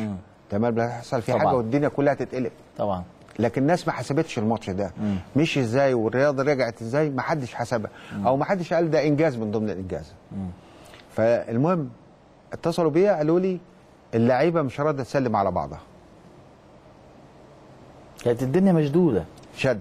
قلت لهم أنا ما يهمنيش. أنا كنا عاملين الدوري بتاعنا إن إيه آه. البداية اللي هو الروح الرياضيه آه. ان كل واحد يسلم على آه. بعض فقلت لهم خلاص الأهلي والمصري بره الموضوع دول خالص انسوا إنه يسلموا على بعض. ابدأ أنا عايز صفاره حكم إيه- إيه يتلعب الماتش. واتلعب الماتش ومشي بقى الأهلي والمصري خلاص مشيت الكورة لغاية دلوقتي بقت ماتشات عادية. وخلاص وإن شاء الله برضو بإذن الله تتعدل. آه، إن هم يلعبوا في مكانهم أو المصري يرجع يلعب في بلده يعني مصر بيلعب في في. في, في, في لا لا أنا برضو مش راضي. عنه لغاية دلوقتي إنه يلعب بره لا المصري من حقه يلعب في لو في أنت بلده. رئيس اتحاد وعندك مباراة زي الأهلي في نص أفريقيا تلعبه من غير جمهور لا طبعا لأن دي لائحة الاتحاد الأفريقي بيقول لك لازم يبقى فيه جمهور امم لائحة الاتحاد الأفريقي بيقول لك في جمهور. إلا إذا كانت في عقوبة على النادي. ما كانش فيه عقوبة. لا يلعب. آه. أنا بقول لك ال ال ال يعني العقوبة اللي طلعت مع ايقاف التنفيذ لو في حاجة لو تكررت أي خروج عن النص أو أو ايا كان آه، يبقى لكن الماتش. لكن يتلعب. الماتش ما كانش فيه عقوبة. لا يتلعب. أنت كرئيس آه. لا يتلعب بجمهور كنت- طالما في إيقاف آه، لأن هو إيقاف حتى حكام القضاء الخارجي لما يديك إيقاف التنفيذ معناها إن هو مستنيك على المحك إنك تعمل نفس الواقعه يبقى ساعتها هيحكم عليك. لكن انت لو رئيس. الاتحاد كان لازم لا، تعمل لازم على. إن الجمهور يكون. موجود. لازم يلعب. فأنا بقول لك دي دي حادثة. فاكر الواقعة الثانية بتاعه الأهلي؟ لما كان بيلعب سموحة. وجماهير النادي الأهلي العظيمة وقفت قدام الأتوبيس بتاع النادي الأهلي ومنعته إنه يخرج. حل الماتش ده كان إزاي؟ أبسط شيء كان الأهلي فعلا. حت... كان الأهلي كان يعتبر مهزوم 2-0 تمام؟ لأن ما راحش في الوقت القانوني بتاعه. والأهلي عنده جماهيره اللي هي منعاه انه يروح. وحرصا من قيادة النادي الأهلي في الوقت ده على جماهيرها مش عايزة تروح. بالظبط. وكلمت أنا. رئيس مجلس الإدارة وقال لي لا مش هروح. لأن لو رحت دي هتبقى مسؤولية. تتحمل أنت المسؤولية قلت له هتحمل المسؤولية. مم. تمام؟ وكلمت عامر ال- الكابتن عامر حسين وقلت له كلم الكابتن ال- ال-. ال- ال- مهندس محمد. مهندس آه، فرج عامر وقول له إن إحنا هنلعب الوقت هنأجله ومش هنصفر بنهاية الماتش. ووافق. كلمت الحكام قلت له ما تنزلش الملعب وما تصفرش. عديت الأزمة. وعدينا الأزمة وقلت لحاجة واحدة قلت له يا ثروت بيه أنا عايز حاجة واحدة بس تحصل. عايز أربع لعيبة أو خمس لعيبة من النادي الأهلي ينزلوا الملعب. بأي طريقة. لأن لو نزلوا أي لعيبة خارج في الملعب خلاص الجماهير فكت. مم. وفعلا قد كان طلعوا في بتاع خمس ست لاعيبه بعربيه مصفحة وراحوا نزلوا الملعب. كانت ال- ال- ال- المباراه اللي شافت دي كان الأتوبيس الثاني كان رايح. وخلصت المشكلة. دي مشكلة. دي حاجات من ضمن حل الأزمات اللي كانت موجودة. فأنا ما أقدرش أقول إن أنا صعبه تتكرر تاني. يعني أزمات كانت خلاص كانت خلصت. كلها أزمات. يعني تقطم ظهر الكورة. ما أنا بقول لك حريق اتحاد الكورة. أنت النهارده لما تحرق خلي واحد مكتب محامي. مم. هنقول محامي أصلا يعني حاجة بسيطة عنده ملفات لفلان وفلان وفلان اتحرقت. وكل واحد ممكن يجيب ملفه تاني. آه. تم اتحرق مكتب المحامي. وعنده قضية بكرة وعنده قضية بعد بكرة. هيعمل خلاص إيه؟ حاله وقف. إحنا نفس الوضع ده انت عندك شؤون اللاعبين اللي تحت اللي اتحرقت زيها زي أي مساند فيها مساندات اللعيبة كلها من يوم ما طلعت لغاية دلوقتي. طيب اتحرقت. لو جاني أي حد من ضمن الناس وقال أنا كنت بلعب مش هقدر أقول له ما بتلعبش. وخصوصا كمان أنت آه، عندك مناطق ممكن تتلعب فيها. مم. وبيتلعب فيه ممكن تتلعب فيها. وبيتلعب لا. لا. ممكن تتلعب فيها. آه. تختلف من ممكن قدرنا- فيها من بيتلعب فيها؟ آه. إحنا قدرناها بقى إزاي؟ إن إحنا النهارده خدنا اللعيبة كلها من غير ما نعرف حد قلنا السجلات موجودة في اتحاد الكورة. تمام؟ بس يا مناطق ابعتوا لنا عشان نطبق السجلات دي مع دي. مم. بعت لك المناطق جبت كلها. تاني الورق كله من المناطق. تمام؟ بالسجلات المظبوطة. يطبقها ويبعتها لي ومطابقه زيها زي ودخلناها. ما فيش ولا واحدة غلطة حصلت. من صفر في اتحاد الكورة. بنيت الاتحاد من تاني اوراقه ورقه ورقه ورقة ورقه وكل حاجة تاني السلام الاتحاد دلوقتي اتحاد السلام اتحاد جاهز. في كل حاجته موجودة. لجانه موجودة وشغله موجود وشؤونه القانونيه موجودة والحسابات موجودة وكل حاجة. أنت متخيل موقف كده؟ أنا بقول لك أنت متخيل موقف وأنت كمان مش موجود في مصر. يعني أنت اتحرق الاتحاد وانا كنا بره ورجعنا تاني على رجعنا على طول. وخدنا الملفات كلها وفتحنا كل حاجة تاني. وبرضه بشكر العمري بيه فاروق في ساعتها. فعلا دخل آه، عمل اتحاد محترم الاتحاد اتحاد و- جديد. وبالمناسبة أنا اترفعت عليا قضية من الدولة إن أنا اللي باني غلط. مم. وجاتني غرامة نص مليون دولار الم- م- نص جنيه. مليون جنيه.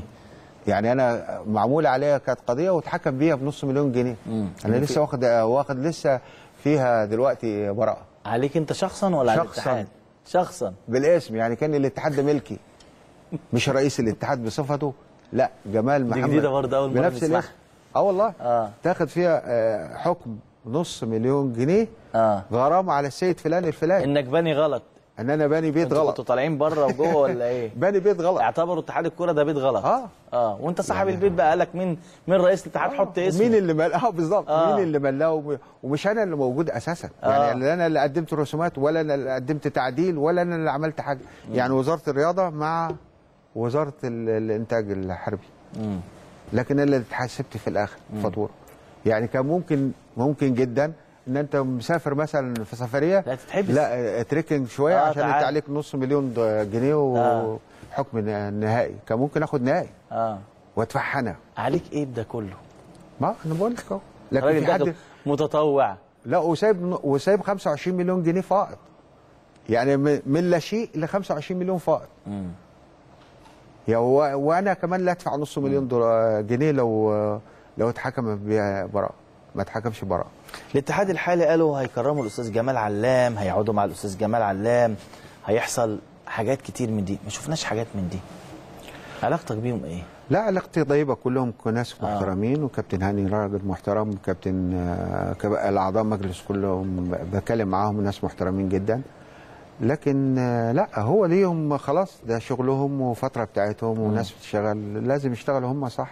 مم. تكريم أو مش تكريم يعني مش هيفرق طالما في علاقة ود و... و... وتعامل مع بعض كويسه ما فيش مشكلة مم.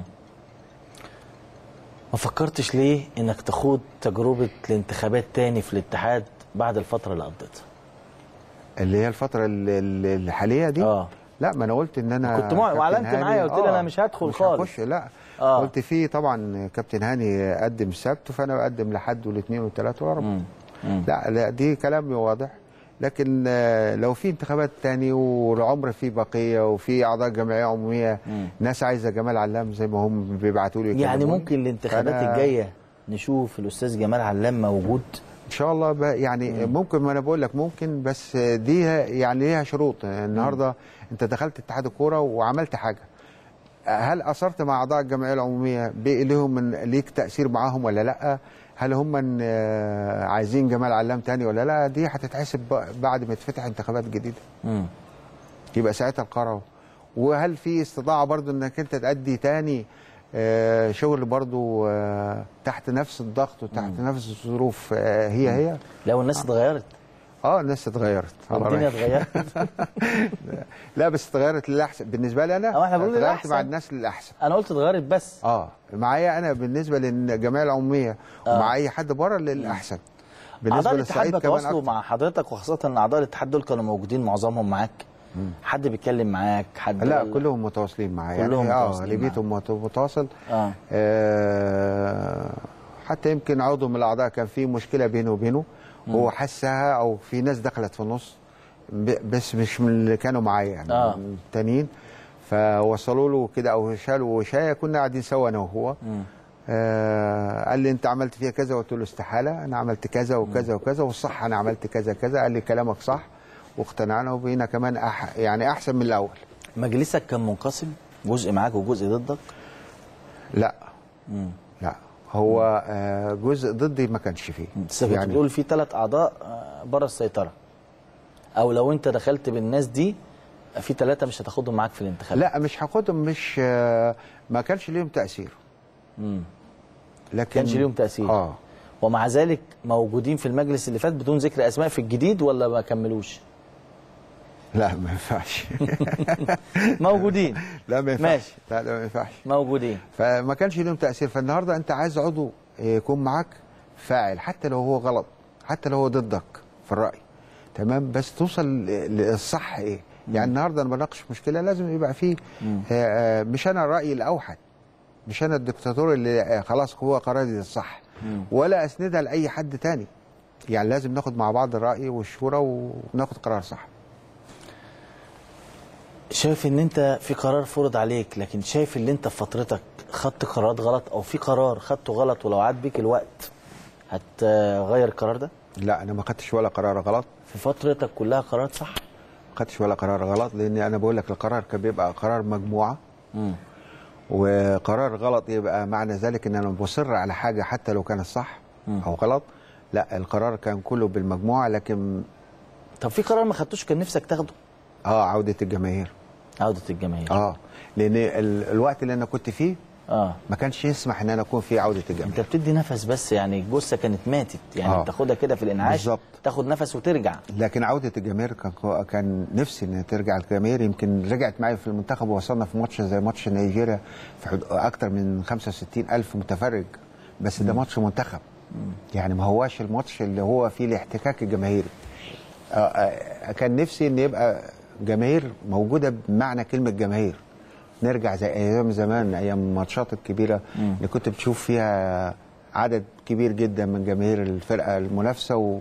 وانت بتتفرج على لأن الجماهير دي عصب الف- الماتش وعصب المباراة وهي المحرك الأساسي للعيبة. إحنا عملنا ال- ال- النتائج اللي عملناها بالمنتخب كانت كلها بالجماهير. لو قيمت أداء اتحاد الكرة الحالي تديله كام من عشرة؟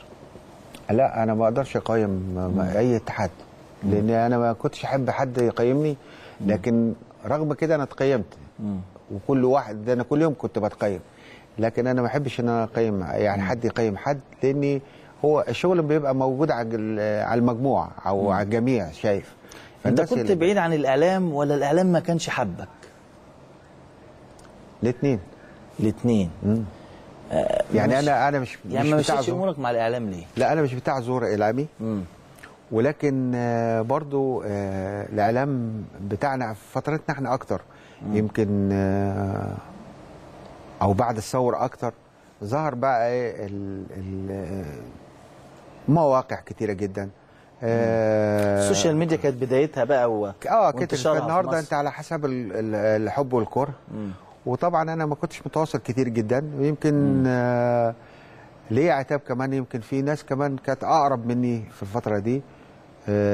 بحكم المنصب وحكم ترك الكرسي. طبعا.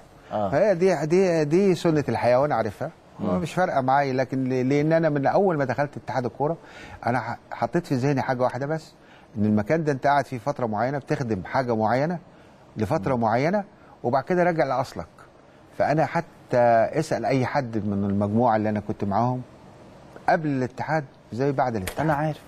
لا أنا أنا. أنا مش محتاج أسأل. هيكتور كوبر وجهازه المعاون تواصلوا معاك ولا بعد ما سبت الاتحاد ما حدش تواصل معاك؟ لا في البداية ويمكن أنا كنت بروح لهم في المعسكرات في الأول آه وحضرت معاهم كذا معسكر.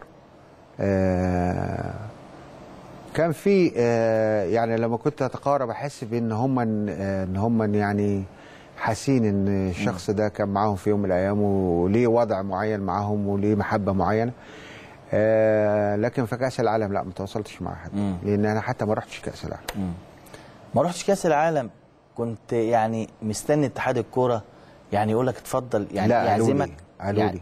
قالوا لك. قالوا آه. لك تعالى آه قالوا لي تعالى وكان معمول حجز ليا ومعمول كل حاجة ما ليا رحتش ليه بس أنا يمكن الحمد لله يعني ما رحتش لسبب واحد حصلت حاجة كده وما رحتش بيها لكن في نفس الوقت قلت الحمد لله لا أصل ده كأس عالم وأنت تعتبر آه، ساهمت ولو بجزء إمتى يعني يعني إمتى ساهمت لا ساهمت أنت جايب جهاز وموقف دلوقتي ولا. قبل؟ لا قبل هو- كأس العالم النوادي ساعة لا، كأس. العالم ما كنتش أنا ساهمت خالص لا، النوادي. الناس كلها كانت تقول لك ما ما ما ساهمت آه انت أنت بتسقط على الناس آه. اللي كانت بتقول أنا ما دلوقتي دلوقتي اللي بقيت ساهمت مم. لكن قبل كده كان كل الناس لا خلاص نسيت ان في حد يعني ما هو الناس قالوا لك تعالى. الأول لا واطلع وكنت الاتحاد أنا ما بتكلمش على ما أنا الاتحاد. ما أنا فاهم بس برضه في نفس الوقت الناس أنا ما أقدرش ألوم على على الناس في الاتحاد لا لا. هم آه، قالوا تعالى الراجل الناس كلهم قالوا وعملوا الحجوزات وكانت محجوز هناك كويس. مكان. أنا بقول لك الحمد؟ لله ما رحتش. أنت عارف والحمد لله إنك ما رحتش. آه لسبب واحد. لأن ما أنت كنتش هتطلع تصور مع اللعيبة فوق يعني. في المشكلة الأخيرة لا وفي المشكلة الأخيرة لما جت مشكلة على الاتحاد قالوا لهم فلان ده سافر ليه وفلان ده سافر ليه. امم فتخيل لو أنا رحت كمان هناك وتبقى تتقال على جمال العالم. إيه اللي وداه هناك؟ لا لا أمر طبيعي. لا لا. لا لا في حاجات برضو كتيرة حصلت. برضو بلاش الحاجات الصعيدي قوي دي آه يعني. لا في حاجات كتيرة خالص. حصلت في حاجات كتيرة. لا أنا بقول الحمد لله إن أنا ما رحتش. مم. لأني احترمت بس كده نفسي اللي حصل؟ آه، بعيدا عن بقى الأحداث اللي حصلت بعد. يعني أنت قلت الحمد لله ما روحتش. لكن أنت واخد قرارك من أول إنك مش هتروح. ليه كنت واخد قرار إنك ما تروحش؟ لا لا حصلت في ظروف عندي ما رضيتش أروح فيها. آه ظروف شخصية يعني. آه بعيدا. عن أي حاجة. لا لا كان مع آه. يعني كان معمول حسابي وكل حاجة بس آه، ظروف معينة ما رضيتش أروح فيها.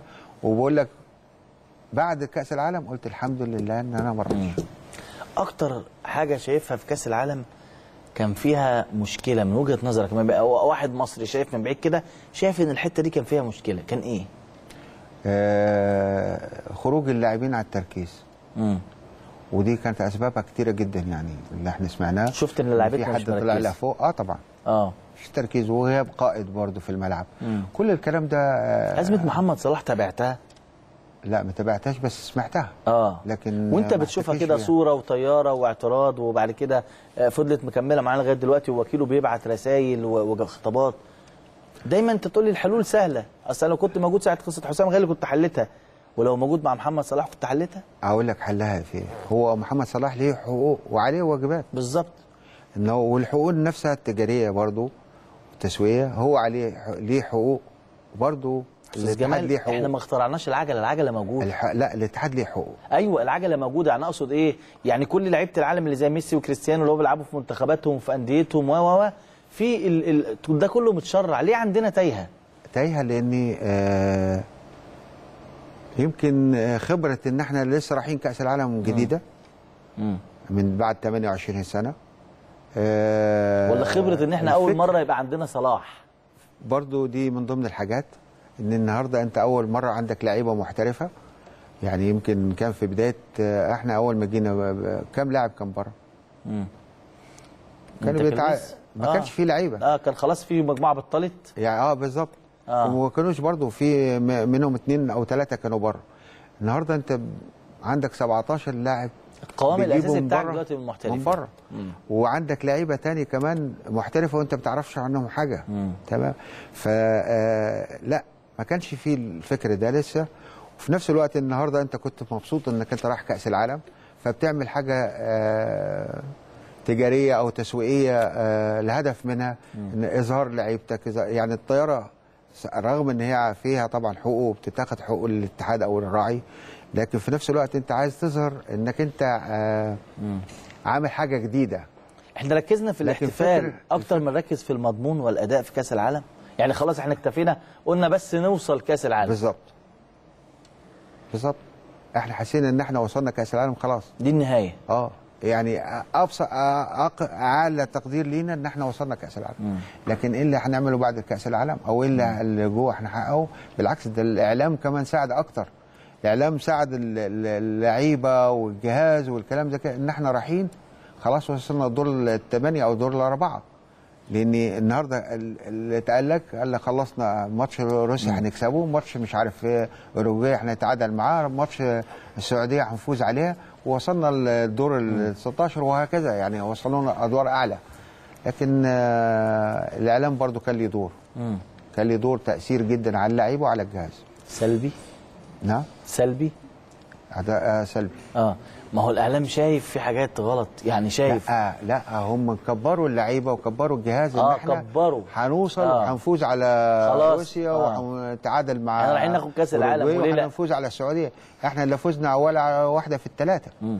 ما هو أنا الإعلام هجيب منين لما بكلم محللين وخبراء وناس شغالة في المجال الرياضي يقول لك ده إحنا هو الماتش الأولاني بس صعب شوية لكن طيب. الباقي هنقدر طيب. نخلص فاللعيبة حست إن هي خلاص الماتشات دي بتاعتها لا لا لا كان في لازم يبقى عندنا جد وعندنا وبعدين اللعيبة النهارده هو في لعيب أو في مدير فني بيطلع في إعلان.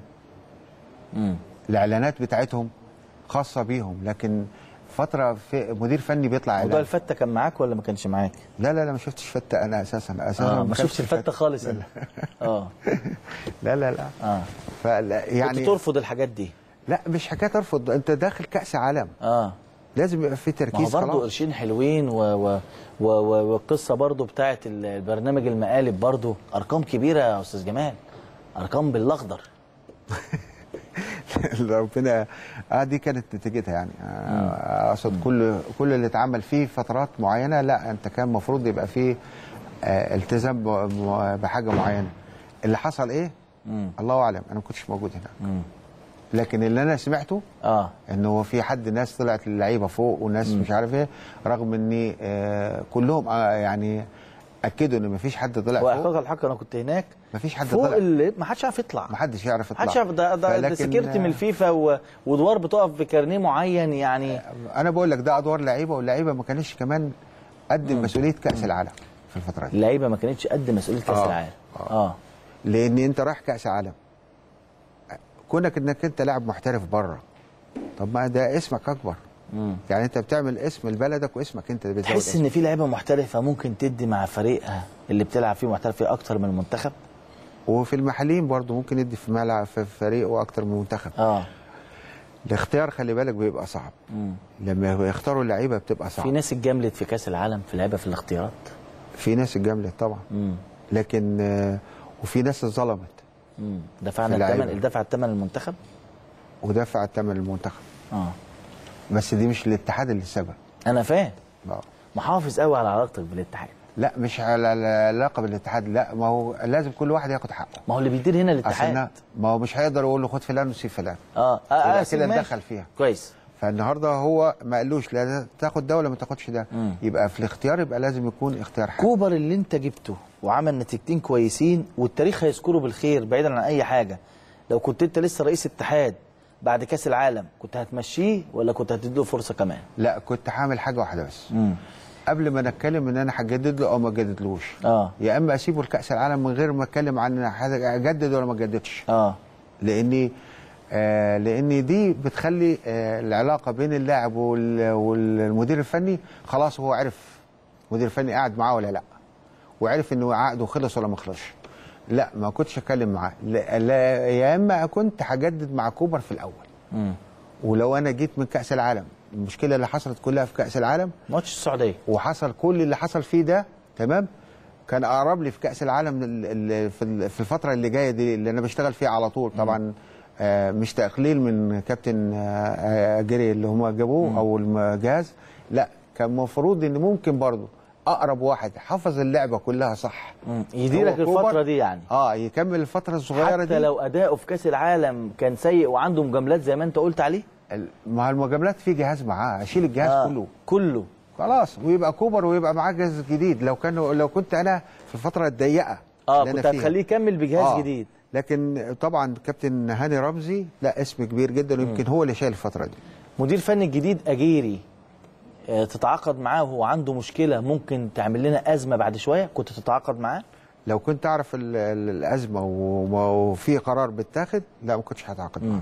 الوقت معاك بيجري سريعا ونفسي أسألك أسئلة كتير آه لكن شرفتني ونورتني لو حابب تقول أي حاجة. قبل ما أشكرك يا جمال لا عايز أقول لك أنا طبعا بشكرك أنت أساسا لأن أنت فكرت إنك آه، في إن أنا أكون موجود ده معاك مش حلقة واحدة إحنا لسه مكملين. آه، فدي حاجة كويسة جدا بالنسبة لك وبالنسبة لي لكن أقصد آه، إن آه، يا ريت ال- الناس تتعامل مع الكرسي اللي موجود. هو هو الشخص اللي كان موجود على الكرسي يمكن أنا قلتها قبل كده عندك. إن الشخص الموجود على الكرسي هو هو اللي بره. إذا تغير على الكرسي يبقى هيتغير من بره. أشكرك وشرفتني ونورتني أستاذ جمال علام رئيس. اتحاد الكرة السابق. شكرا ربنا ليك. يكرمك وكل سنة وأنت طيب شكرا يمكن فقرة مميزة جدا وشفنا الراجل بيتكلم يعني بطبيعته خالص خالص خالص. لكن هو شايف إن الناس بتتعامل وأنت على الكرسي غير خالص وشايف إن الناس جت عليه لكنه سيبقى جمال علام هو واحد من أفضل من أداروا اتحاد الكرة وواحد من أفضل من حل وقالوا له كده حلال العقد للكرة المصرية. كده هنتواصل معاه في حلقات كتير وهنتكلم فيه لكن هطلع فاصل دلوقتي عشان أستقبل طبعا الكابتن خالد العوده وحلقة خاصة مع فريق السلة السيدات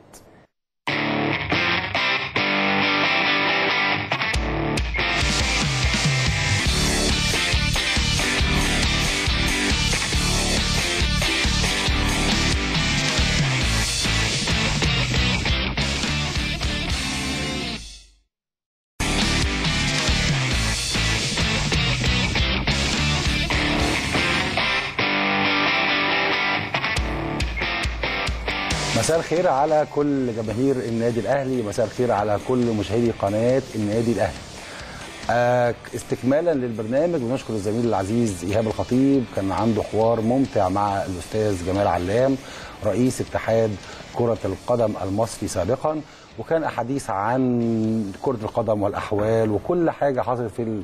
بتحصل على الساحه في الوقت اللي إحنا موجودين فيه دائما وابدا في حلقتنا أو في الفقرة بتاعتنا بنجيب نجوم. بنجيب نجوم وكنا بنشوف الساعات ال- الفرق كلها في النادي الأهلي عن الموسم الجديد واستعدادات واستعدادات واستعدادات. لكن النهارده الوضع بيختلف. بنستضيف أول فرقة فائزة في النادي الأهلي ببطولة منطقة القاهرة لكرة السلة سيدات. معانا آه، كابتن ال- ال- المدير الفني كابتن إيهاب الألفي أحد أبرز النجوم في مجال لعبة كرة السلة وكتب اسمه في آه تاريخ المدربين جوه النادي الأهلي فيه سجل من ذهب. بطل من ذهب معاه أبطال من ذهب نمسي عليه. مساء الخير يا كابتن إيهاب. مساء الخير يا كابتن خالد. منور. الله يخليك. الحمد لله. ومعانا اتنين كباتن من اللي حققوا بطولة منطقة القاهرة كابتن رنا عبد الظاهر. مساء الخير. مساء النور. ومعانا كابتن نور علي. مساء الخير. مساء النور. أخبارك إيه؟ كويس. مبسوطة إن انت معانا أكيد طبعا. قولي لي هنتكلم معاكي نبدأ معاكي مش هنبدأ مع كابتن ايهاب قولي لي يا نورة عملتوا إيه؟ بطولة منطقة القاهرة لسه؟ الناس كلها بتستعد لسه الدوريات بدأ وإحنا اخذنا بطولة كده سريعا زي ما بيقولوا. الحمد لله كانت بداية موفقة وكنا متحمسين ليها عشان أول بطولة في السيزون وكنا عايزين ندي آه، طبع للجمهور الأهلي وللنادي إن إحنا إن شاء الله بداية قوية ويبقوا معانا يعني مركزين معانا بقيه ال season إن شاء الله. قولي لي يا رنا ماتشات صعبة وماتشات سهلة كانت ماتشات إعدادية. في ناس قالت لي دي كانت استعداد بس عشان فرقة ال basket السيدات بيسخنوا للموسم الجديد. الكلام ده صح ولا كان في منافسة حقيقية؟ آه الحمد لله الماتشات ما كانتش يعني بدرجة الصعوبة اللي هي يكون ماتش critical أو يكون هي طبعا كابتن إيهاب معلمنا إن إحنا أي ماتش آه لازم نحترمه. وما فيش حاجة اسمها ماتش ضعيف وماتش جامد. إحنا بننزل ماتش مستعدين نفسيا و- ومتمرنين وعاملين اللي علينا وبعدين الملعب هو اللي بيتكلم يعني مش الملعب هو بيتكلم. دي حقيقة. أنا عارف الملعب بيتكلم. كابتن إيهاب ألف مليون مبروك. أول. بطولة السنة دي. ما شاء الله. اللهم لا حسن. مش عايزين نقول بقى إيه التاريخ لكن فعلا بتسطر باسم إيهاب الألفي بتسطر بحروف من ذهب في سجل تاريخ سيدات النادي الأهلي كرة السلة. الحمد لله الأول على البطولة والمكسب ودي أول بطولة لينا في السيزون ده.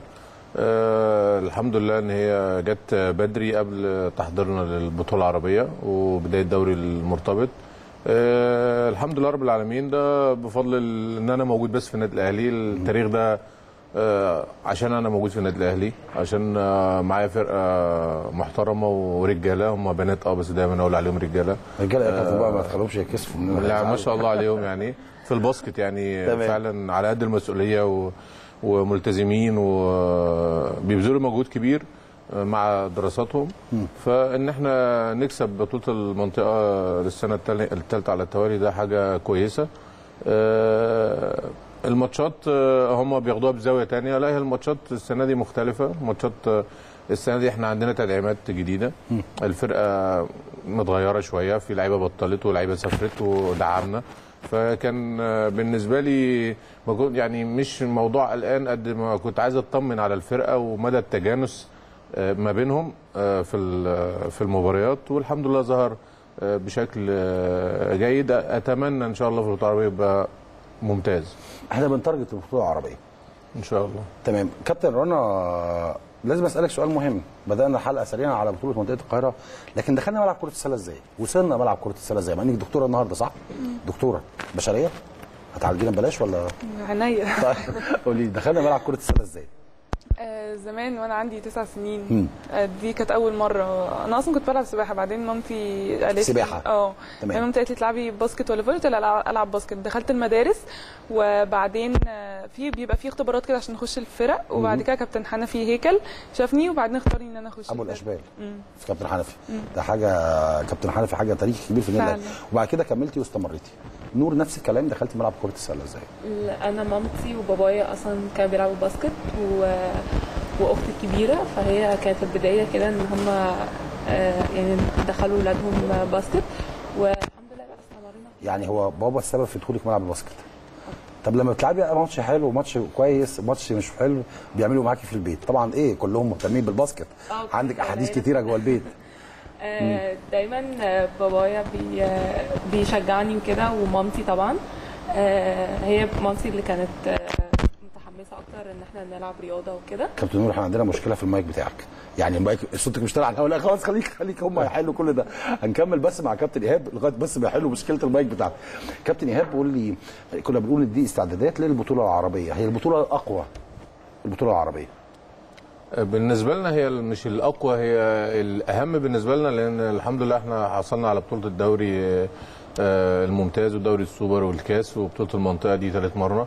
فالحمد لله لكن البطولة العربية يا كابتن خالد آه، حاجة غريبة جدا إن كل البنات اللي معايا ما ما شافوهاش. يعني إحنا آخر بطولة عربية كانت 96 96 معظم البنات دي ما كانوش اتولدوا أساسا. يعني يعني ما كانوش اتولدوا. أساسا. يعني ما شافوش تاريخ. البطولة العربية ما شافوش. طبعا تاريخ البطولة آه. العربية. مش مش حاسين قد إيه البطوله العربيه آه لازم يحضروا آه يعني عايز أعمل لهم آه إعداد شوية نفسي.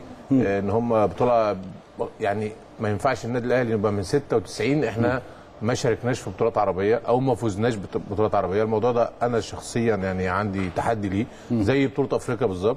النادي الأهلي لم يشارك مش لم يحصل على بطولة أفريقية. ده لم يشارك في بطولة أفريقية. الموضوع ده أنا ككوتش يعني متضايق منه جدا. لا النادي الأهلي لازم يشارك في البطولات الافريقيه ويحصل إن شاء الله هي البوابة. للخروج للعالميه أكيد طبعا. فإحنا خدنا الوان ستيب أو الخطوة الأولى إن الحمد لله مجلس الإدارة والنشاط الرياضي كابتن رؤوف وافقوا لنا إن شاء الله إحنا نشترك في البطولة العربية. هي. فدي حاجة كويسة. البطولة العربية هتكون إن شاء الله في اسكندرية في النادي الأولمبي. من إمتى لإمتى يا كابتن؟ البطولة من 23 10 ل 31 10 آه عندنا حاجة كويسة جدا. الحاجة بس اللي قلقاني شوية هي موضوع آه، الجماهير. أتمنى يا رب إن ال- موضوع الجماهير يخلص قبل البطولة العربية عشان أعود البنات إن هم يلعبوا ويشوفوا جمهورنا اللي هو إن شاء الله يكون السبب الرئيسي إن شاء الله في المنافسة على البطولة العربية. الجماهير هي الصفة الأساسية. كابتن رنا كابتن إيهاب الألفي بيقول إن الجماهير حاجة مهمة جدا جوه أرض الملعب. قولي لي لعبنا قبل كده بجمهور النادي الأهلي ولا لسه؟ لا لسه. لسه ما جربتيش؟ يعني هو لازم فعلا الكابتن إيهاب بيقول إن إحنا لازم نجرب الموضوع ده. آه طب كابتن رنا قولي لي إحنا إزاي بنوفق بين الدراسة وبين التدريب؟ كلية الطب. حاجة صعبة جدا. إزاي؟ هي طبعا من أصعب الحاجات اللي ممكن حد يعملها في الدنيا يعني إن هو يكون في كلية صعبة زي الكلية بتاعتي ويكون يعني كوميتد في, في نادي طبعا كبير جدا ولازم أكون. يعني على قد المسؤولية أنا بحاول أكون هنا على قد المسؤولية وهنا على قد المسؤولية. م. طبعا ممكن يجي على حساب نومي على حساب راحتي على حساب حاجات كتير. ممكن مثلا ما أخرجش بس عشان أنا قررت إن أنا هلتزم في الدراسة وهلتزم في الباسكت. فممكن أنام ساعتين في النص ما بين التمرين وما بين ال وما بين الجامعة علشان أحاول ادي هنا كويس وأدي هنا كويس وأذاكر بقى بالليل. طيب هستأذنكم نخرج بتليفون مهم حاجة تهمكم يا كابتن إيهاب من تنزانيا. وفرقة كرة السلة بالنادي الأهلي وتصفيات المنطقة الخامسة للبطوله أفريقيا للأندية. معانا من هناك رئيس البعثة المهندس محمد سراج الدين. مساء الخير. عضو مجلس. مساء الخير يا باشمهندس. مساء النور. كابتن خالد وتحياتي لحضرتك والكابتن ايهاب والنور ورنا. آه لسه كسبانين بطولة النهارده امبارح كابتن إيهاب الألف لسه مخلص بطولة ولسه كسبان بطولة منطقة القاهرة ودي أول بطولة بتخش سجل النادي الأهلي السنة دي في تاريخ البطولات بإذن الله. لا كابتن إيهاب ما شاء الله يعني يعني متواجد دايما والحمد لله يمكن الموسم اللي فات كان حصد الرباعية يعني في البطولات كلها اللي شارك فيها. مع فريق أكثر من ممتاز مشرفين دايما اسم النادي الأهلي. وإحنا كلنا ثقة فيهم إن هم إن شاء الله يحققوا نتيجه البطولات وببارك لهم طبعا خلال قناه النادي وهو كابتن إيهاب عارف عندنا فيه إن هو دايما يعني بيكون قد المسؤوليه هو وكل طبعا الفريق اللي معاه وإن شاء الله بإذن الله تكون البطولات السنة دي من نصيبهم والبطولة العربية والأفريقية إن شاء الله ينافسوا على نفس قوي بطولاتهم النادي الاهلي باشمهندس عايزين نطمن على أحوال البعثه رابع فوز النهارده ما شاء الله في البطولة تصفيات البطولة الأفريقية. طمنا. إيه الأخبار؟ عندنا مشاكل هناك. عارف اللي كانت في مشكلة قبل حضرتك تسافر بخصوص إقامة اللاعبين هناك أو إقامة البعثة المصرية. تقول لي إيه؟ طبعا كنت خالد حضرتك يعني ادرى واحد في ال- الأمور ال- اللي جوه اللي داخل القارة الأفريقية والمشاكل الملاعب الإقامة والكلام ده كله. فيه تشكيل كتير يعني. آه، فطبعا إحنا كملنا في يوم يمكن أنا ما كانش بس آه، ليا الحظ إن أنا صادف داخل في أول يوم عشان كان عندنا جمعيه رقميه طبعا بتاعت 28 الحمد لله إن هي مشيت بشكل كويس فأنا كنت متواجد في مصر. وبعد كده يعني آه، لحقت بقى البعثه بعديها فكان في طبعا مشكلة كان الاتحاد هنا مختار لهم اوتيل للأسف آه، كان سيء جدا يعني ما كانش ينفع عددنا هم قبل كده فالحمد لله يعني الناس مع بعض بشكل يومي غيرنا الاوتيل موجودين في اوتيل دلوقتي كويس جدا. ويعني اللعيبه مستريحه الحمد لله. هم حققوا النهارده كمان آه، رابع فوز على التوالي. الحمد لله. لما مجربوا بتوع آه مع بطل رواندا بإذن الله كسبنا في أول مجموعة. آه ونبدأ نلعب بقى رابع مجموعة ثانية الناحية الثانية. الحمد لله هم ماشيين بشكل ممتاز يعني. بغض النظر بقى عن ظروف الإقامة والملعب كمان كان سيء جدا بصراحه يعني. قدامنا صور الملعب. يعني مطلعين صور الملعب قدامنا حاسين الملعب. في مشكلة ملعب ملعب المباراة يا باشمهندس؟ آه طبعا. يعني ما هو ده كمان الملعب الوحيد اللي موجود هنا في- العاصمة في دار السلام وملعب طبعا ده. يعني هو أنا شايف هانجر مش ملعب. آه. لا. يعني صعب جدا يعني إن هو تلاقي في بطولة أو تصفيات لبطولة أفريقية يعني بتمثل القاره بطولة آه، رسميه وبطولة صعبه قوي يعني. الملعب كمان تخاف على اصابات اللعيبة يعني. يعني انت بتلعب كل يوم مفيش ولا راحة ولا يوم راحة ثالث فطبعا كل مع الأرضية دي يبقى في يعني عوامل طبعا خوف من الإصابات واجهاد كده. فربنا يكرمهم بقى ربنا يوفقهم إن شاء الله ونكمل على خير في يعني هي دي أفريقيا إحنا متعودين على كده قوي يعني. عاملين حسابنا على كده هم دول آه. يعني. أولاد النادي الأهلي ده. كل يوم مفيش ولا راحة ولا يوم راحة. ثالث فطبعا كل مع الارضيه دي يبقى في يعني عوامل طبعا خوف من الاصابات واجهاد كده. فربنا يكرمهم بقى ربنا يوفقهم إن شاء الله ونكمل على خير في هي دي. افريقيا إحنا متعودين على كده قوي يعني عاملين حسابنا على كده. آه. إن شاء الله الجو بإذن الله يعني. قدها بتلعب كل يوم مفيش ولا راحة ولا يوم راحة ثالث فطبعا كل مع الارضيه دي يبقى في يعني عوامل طبعا خوف من الاصابات واجهاد كده. فربنا يكرمهم بقى ربنا يوفقهم إن شاء الله ونكمل على خير في هي دي افريقيا إحنا متعودين على كده قوي يعني. بص هو هو برضه حصل نفس الكلام تاني إن الصوت بيتعاد بيتكرر تاني مرة. أعتقد نتصل نحاول نتصل بيه تاني عشان الصوت فعلا بيتكرر كده. ترجعوا لنا مرة تانية. كابتن إيهاب حال أرضية الملعب اللي أنت شايفها وأبطال لازم نتكلم عليهم دلوقتي. أبطالنا هناك أبطال الباسكت اللي بيلعبوا البطوله اللي هي تصفيات البطولة الأفريقية. تقول لهم إيه؟ آه الحمد لله إحنا إحنا لعبنا في الملعب ده زمان اعتقد سنة 2001 هو هو؟ آه هو هو نفس نفس الملعب نفس الأرضية ونفس الحالة. هو فعلا ما قال الباشمهندس محمد سراج وأنا آه. بشكره وبحييه على المداخلة الجميلة دي. آه. آه، هو نفس الهانجر ونفس الملعب آه، بالظبط. مفيش أي تغيير والأرض فيها كده يعني آه، تشققات. ت- تشققات باينة جدا ولا تصلح يعني. وهي أصلا أسفلت من تحت وهي بس طبقة ال- الترفليكس تقريبا اللي فوق دي كده آه، هي كابتن بس ده حاجة حاجة بسيطة. ده هي, هي آه. أصلا متقطعة م- باينة يعني حتى في الصور. آه. لكن آه، لعيبتنا متعودين وطارق متعود على الموضوع ده وتعاملوا معاه الحمد لله وكسبنا المكسب الرابع وإن شاء الله يا رب يرجعوا يتأهلوا إن شاء الله ويكسبوا إن شاء الله للتصفيات بإذن الله. طيب هنرجع للسيدات نرجع لرنا. نرجع لا نرجع بقى لنور المرة دي عشان نور خلاص ال- الميكروفون بتاعها اشتغل قولي لي العلاقة بينك وبين كابتن إيهاب الألفي شكلها إيه؟ بيعملكوا إزاي؟ إيه إيه الوضع؟ أكيد في في كيمياء معينة في الموضوع عشان نوصل للفوز. آه، هو طبعا كابتن إيهاب بيتعامل معانا بناته أكتر ما إحنا آه، فرقة وكابتن آه، ده بيخلي آه، عمل ما بيننا آم، راحة راحة إن إحنا بنتعامل مع آه، كابتن بتاعنا مثلا هو طبعا بي بي بياخد الأعذار وبيقدر الظروف كويس فبيبقى خلينا بنلعب وإحنا مرتاحين وحاسين إن فعلا في حد بيدعمنا وبيساعدنا آه، وهو ده اللي بيعمل مكسب يعني بس لما. بيتنرفز بيبقى وحش. آه. بصراحة يعني صح؟ قولي لي مش مش عايزه تشوفيه لما هو وهو بيزعق لا خالص بقى يعني مش عايزينه. بيبقى صعب قوي بتجروا منه. كابتن إيهاب بتزعلهم جامد. والله مش مش دايما ظالميني يعني مطلعين عليا اشاعه صعبة يعني آه لا يعني جوه ال game أنت عارف طبعا. آه ضغوط يعني وكده وتبقى في أخطاء آه، سهلة جدا يعني مش متعودة منهم يعني فأنا بس مجرد إن أنا ممكن أكون عصبي شوية بس جوه ال game لكن آه، ببقى حريص عليهم يعني إن الحاجات ال- الأخطاء البسيطة دي ما ينفعش إحنا نعملها في النادي الأهلي أو الحاجات البسيطة دي تفوت مننا. آه، الموقف ده لازم نتعامل معاه بشكل أقوى شوية. ساعات بينزلوا ال game مستهترين شوية يعني. بترخص شوية.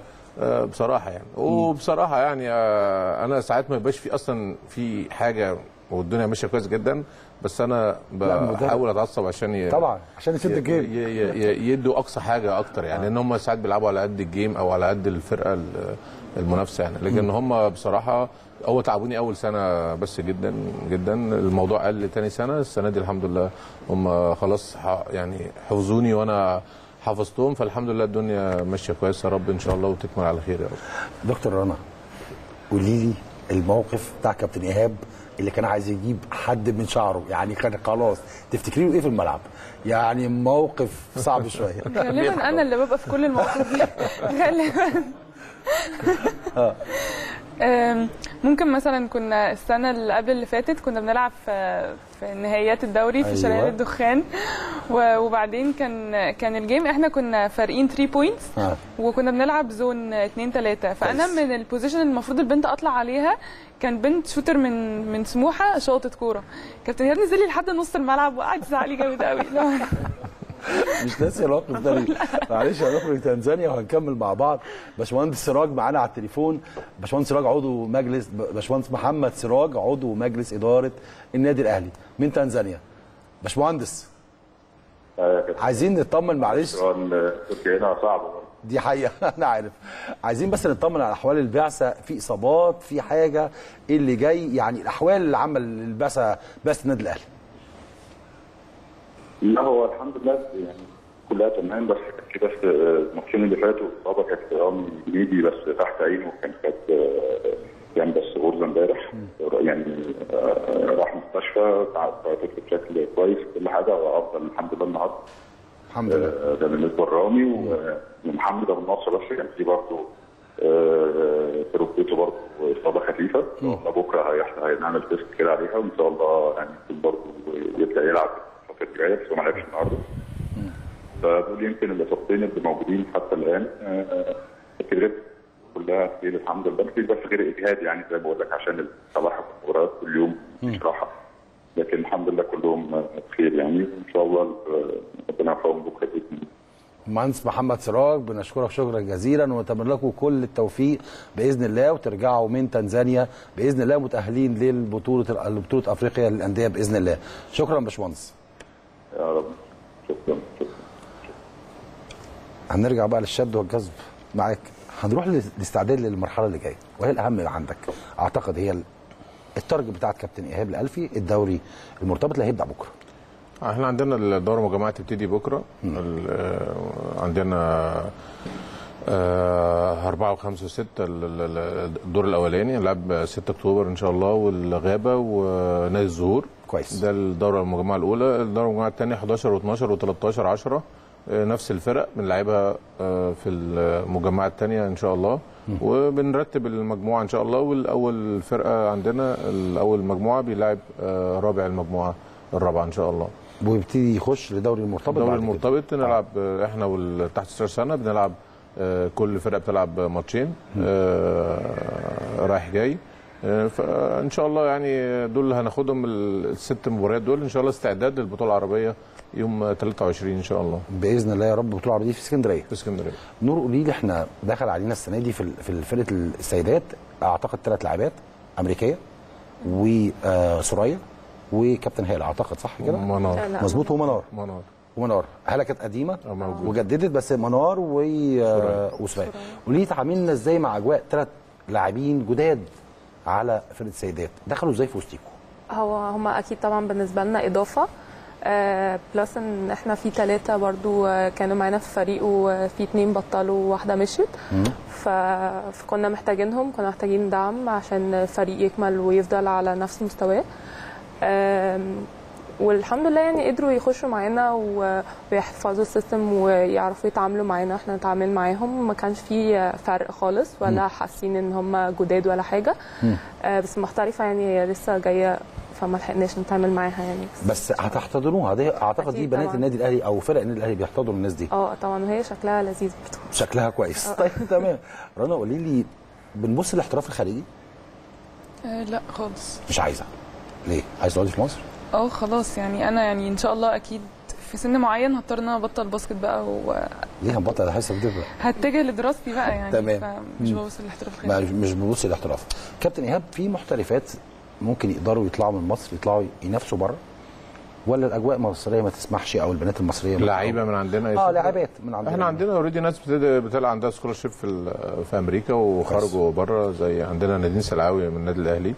آه، ماشية بشكل كويس بنت جدا. كابتن سلعوة. آه بنت كابتن سلعوه. أعتقد إن هي آه، هت هتعمل حاجة كويسة و ويعني ماشية بشكل كويس جدا يعني آه، عندنا. وعندنا اللعيبه كمان صغيرة عندنا بنتين صغيرين طلعوا في ال high school كمان مواليد 2001 2002 أمريكا برضو؟ آه، بقى بيدرسوا آه، بيبقى عندهم فرصة بعد كده إن هم يخشوا في الدوري ال- الجامعات يعني. لما بيدرسوا بره بيكون عندهم يعني. هل ده النتاج ده هيرد على منتخب مصر؟ أكيد هيرد على الأهلي لو هيرجعوا لنا لكن هيردوا على منتخب مصر للسيدات؟ أكيد طبعا لأن ال system مختلف ونظام التدريب مختلف. يبقى ال basket ليه أولوية مع الدراسة؟ آه بس ال basket بيبقى ليه أولوية شوية. فأكيد طبعا هيعود بالنفع. دي حاجة كويسة. إحنا عندنا حوالي سبع أو ثمان بنات في الدرجة اولى وحوالي أربعة أو خمسة آه، صغيرين تحت السن. فأعتقد هيبقى في استفادة للمنتخب إن شاء الله يعني. قول لي أخبار المحترفة الأمريكية إيه؟ والله يا كابتن خالد عشان أكون صريح هي إحنا الموافقة خدناها متأخر شوية ف كانت الفترة اللي إحنا بندور فيها كان آه، كل اللعيبة ال- يعني السوبر شبه مضوا يعني لكن الحمد لله إحنا توفقنا في المحترفة ال- اللي عندنا آه، وجت من يومين بالظبط ونزلت التمرين آه، الحمد لله. وربنا ييسر إن شاء الله وتكون آه، إضافة كويسة لينا في الدوري والبطولة العربية إن شاء الله. والبنات زي ما هم قالوا كده زي ما قالت نورة ورانا إحنا عندنا ميزة مش موجودة في أي فرقة سواء ولاد أو بنات بس البنات أكتر شوية إن سوريا لما جت ومنار آه، ما حسوش من أول يوم إن هم جايين نادي جديد هم حسوا إن هم جايين بيتهم. فعلا البنات استقبلوهم استقبال آه، يعني يعني أكتر ما أنا كنت متوقع كنت فاكر إن هياخدوا وقت شوية عشان يحصل انسجام ويحصل يعني تألف سريع يعني. لكن بصراحة من أول يوم حسيت إن هم بقى لهم سنين بيلعبوا مع- معانا. هم أصحاب كمان في المنتخب آه، مع بعض. فالحمد لله دي كانت أهم نقطة وبالذات في البنات إن الموضوع يحصل التجانس ويحصل المحبة وروح النادي الأهلي تبقى سريعا كده تحصل. الحمد لله. فمكسب امبارح كمان آه، يعني ساعدنا شوية في الموضوع ده وخلى ال- الموضوع يبقى أسرع إن شاء الله. حتى المحترفة امبارح اتبسط جدا هي كانتش موجودة معانا في الماتش لسه ما كانتش لعبت. ال score لا لا ما كانتش موجودة بس كانت موجودة معانا ونزلت وكانت فرحانة جدا ومبسوطة جدا. ومن أول يوم حست إن قالت لي أنا أول مرة أجي ال- ال Middle East خ- أساسا يعني أو أول مرة أجي مصر. لكن أنا حاسه إن أنا بلعب في نادي كبير جدا غير اللي لعبت فيهم في تركيا ورومانيا وبولندا. فدي كانت حاجة كويسة بالنسبة لنا يعني. قدامنا لقطات هي على الشاشة دي تسليم تسليم ماتش امبارح؟ آه هي دي ماريا. آه. آه، هي لعيبه كويسة وأرقامها كويسة جدا عندها خبرة كمان لأن هي لعبت في في الدوري ال- التركي أرقامها كويسة ب- الأفريج بتاعها 15 points في ال game وتسعة rebound وخمسة assist فدي أرقام كويسة بالنسبة للدوري كوي- التركي. تمام. الدوري البولندي نفس الكلام ال- لعبت في التشيك آه، نفس الكلام. أرقامها آه، كويسة. أتمنى إن شاء الله إن هي تبقى إضافة قوية إن شاء الله ويكون لها دور معانا إن شاء الله في البطولات اللي جاية بإذن الله. بإذن الله. رنا قولي لي المنافسة اللي جاية. خلاص إحنا عدينا بطولة وأنا بلعب. كان دايما يقول لك عديت بطولة خلاص بقت في التاريخ. خلينا نبص اللي جاي. قولي لي المنافسة اللي جاية في الدوري في الدوري المرتبط. المنافسة مع مين في الدوري المرتبط؟ آه، عندنا الأول ثلاث ماتشات مع 6 أكتوبر. آه، ده الماتش اللي بكرة. مش فاكرة فرقتين تانيين. لا أنا بقول لك يعني المنافسة إحنا النهارده بننافس على دوري المرتبط. بننافس على دوري إحنا حامل اللقب بتاعه صح كده يا كابتن إيهاب. فبننافس مع مين؟ مين الأندية؟ سبورتنج آه، هليوبلس آه، مش يعني مين الأندية؟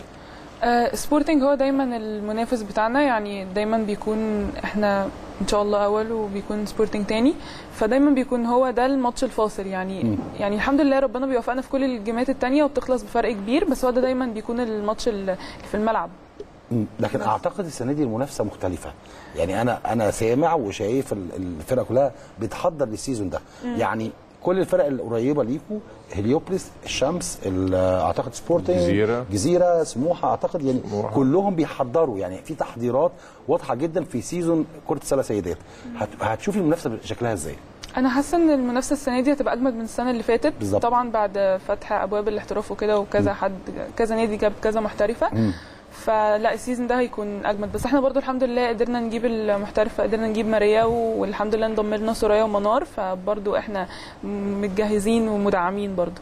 فإن شاء الله تبقى منافسه يا رب بإذن الله. نور قولي لي الاحتراف الخارجي لينا سكه فيه ليكي أمل عايزة تطلعي إيه؟ في الوقت الدراسة لأ.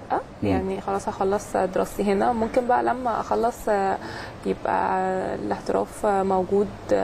بس في أكتر يعني آه، البلاد اللي فعلا فيها باسكت يعني مش آه، إن شاء الله يعني إن شاء الله ناوية. آه. طب قولي لي سؤال. دايما ولي الأمر لما بيكون كابتن بيبوش الأمور قوي. يعني بيجي على ابنه شوية. هل الكلام ده بيحصل معاكي وانت صغيرة لغاية ما كبرتي؟ لا هما بابا كانوا ماما اخواتك انت عندك عيلة كاملة آه. عيلة كاملة باسكت صح؟ آه. قولي لي. لا هما كانوا متفاهمين الموضوع وفاهمين إن مثلا بيبقى عندي تمرين ومدرسة فمش بذاكر مثلا بيأثر على مذاكرتي. هما فاهمين إن أنا مثلا تعبانة من ماتش أو من تمرين فلا هما كانوا متفاهمين يعني قوي. ودايما مامتي بقى كانت بتدعمني وتيجي ماتشاتي وكده وتركز معايا يعني وأكيد مع كل إخواتي. فل يعني كان بوش ناجح يعني الحمد لله. مش ناجح. كابتن إيهاب لازم نسالك سؤال من خبرتك. أولياء الأمور أكيد حاجة مؤثرة جدا في الحياة الرياضية حاجة مساعدة جدا بنشكرهم على المجهود اللي بيبذلوه. لكن بنتكلم بصراحة في تدخلات شوية. بيحسوا بيبوشوا الأمور. تحس إن اللعيب كان لعيب كويس لكن البوش أولياء الأمر بيبوش ناحية عكسية. تقول لهم إيه؟ نصيحة من إيهاب الألفي ليهم النهارده. لأن دول ولادنا في الآخر. لا هو الفكر اختلف دلوقتي يا كابتن خالد. هو الأمور بالنسبة لنا دلوقتي هم عامل مساعد مش إحنا مش مش في منافسة ولا أعداء ولا بالعكس هم بيأهلوا في البيت وبيربوا في البيت وإحنا بن بن بنأهل جوه الملعب وجوه النادي وبنربي جوه النادي.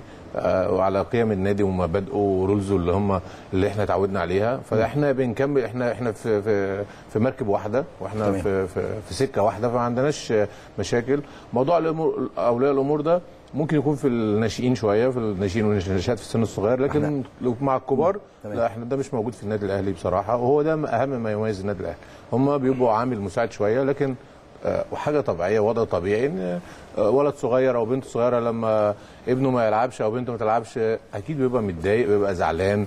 آه، دي خلاص اتعودنا على الموضوع ده. لكن في النهاية إحنا في النادي الأهلي ما فيش حاجة اسمها تدخلات من أولياء الأمور ولا وده أهم أهم حاجة بتميز النادي الأهلي عن آه، بقية الأندية. لكن هم في ناس منهم فاهمين وواعيين ومقدرين وبيعنفوا. اولادهم زي ما نوره مثلا لما بتقول لا أنا كتير جدا آه، آه، آه، خاصة يعني ماما نور لا النهارده ما كنتش كويسة النهارده أنا مش مبسوطة منك. آه، آه، تيجي تقول لي دي ماما زعلانة مني وهكذا وممكن تعيط. لا بالعكس أنا النهارده أنا راضي النهارده كويس جدا بس عن- عندنا أحسن فإحنا مكملين. آه. لكن في ناس مش فاهمين شوية ممكن محدش يلعب فمعلش فطبطب عليها شوية ممكن تبقى حاجة سلبية أو تمام. ناحية سلبية يعني كابتن. ف- فمنهم كده ومنهم كده طب لا أنا أنا برضو السؤال أنا سألتك سؤال وخلاص وإحنا ردينا عليه لكن أنا عايز أخدك لتحت حضرتك المسؤول الأول عن الجهاز في النادي الأهلي قطاع الناشئات عندنا أخباره إيه؟ لا الحمد لله قطاع النشاط عندنا كويس جدا. وعندنا خامات آه، مش موجودة في في مصر من أول العشر سنين لحد ال 18 سنه الحمد لله في قاعدة كويسة جدا وشغالين عليها كويس. وكابتن نبيل بخيت مدير قطاع النشات كل سنة الحمد لله بندعم وبنجيب آه، آه، ال- ال- ال- اللي بتحتاجه الفرق أو النواقص إن كان حتى قصيرين أو طوال. كنا الأول بنجيب طوال بس. دلوقتي لا إحنا بنجيب في كل المراكز بندعم من الأول. الحمد لله إحنا أبطال السنة اللي فاتت أبطال الجمهورية تحت 18 سنة وأبطال الجمهورية تحت 16 سنة شاء الله. وتاني الجمهورية تحت 14 سنة آه، بالنسبة للبنات دول الثلاث بطولات الأساسية. ما عندناش 20 سنة في في البنات. لا فالحمد لله قطاع البنات والناشئات مؤثر جدا. الحمد لله امبارح كان عندنا آه، إحنا مصعد معانا خمس بنات منهم اثنين امبارح في السكور مواليد 2002 مو- مواليد 2002 2002. 2002 يعني لسه 16 طال- سنة. طالعين من 16 سنة.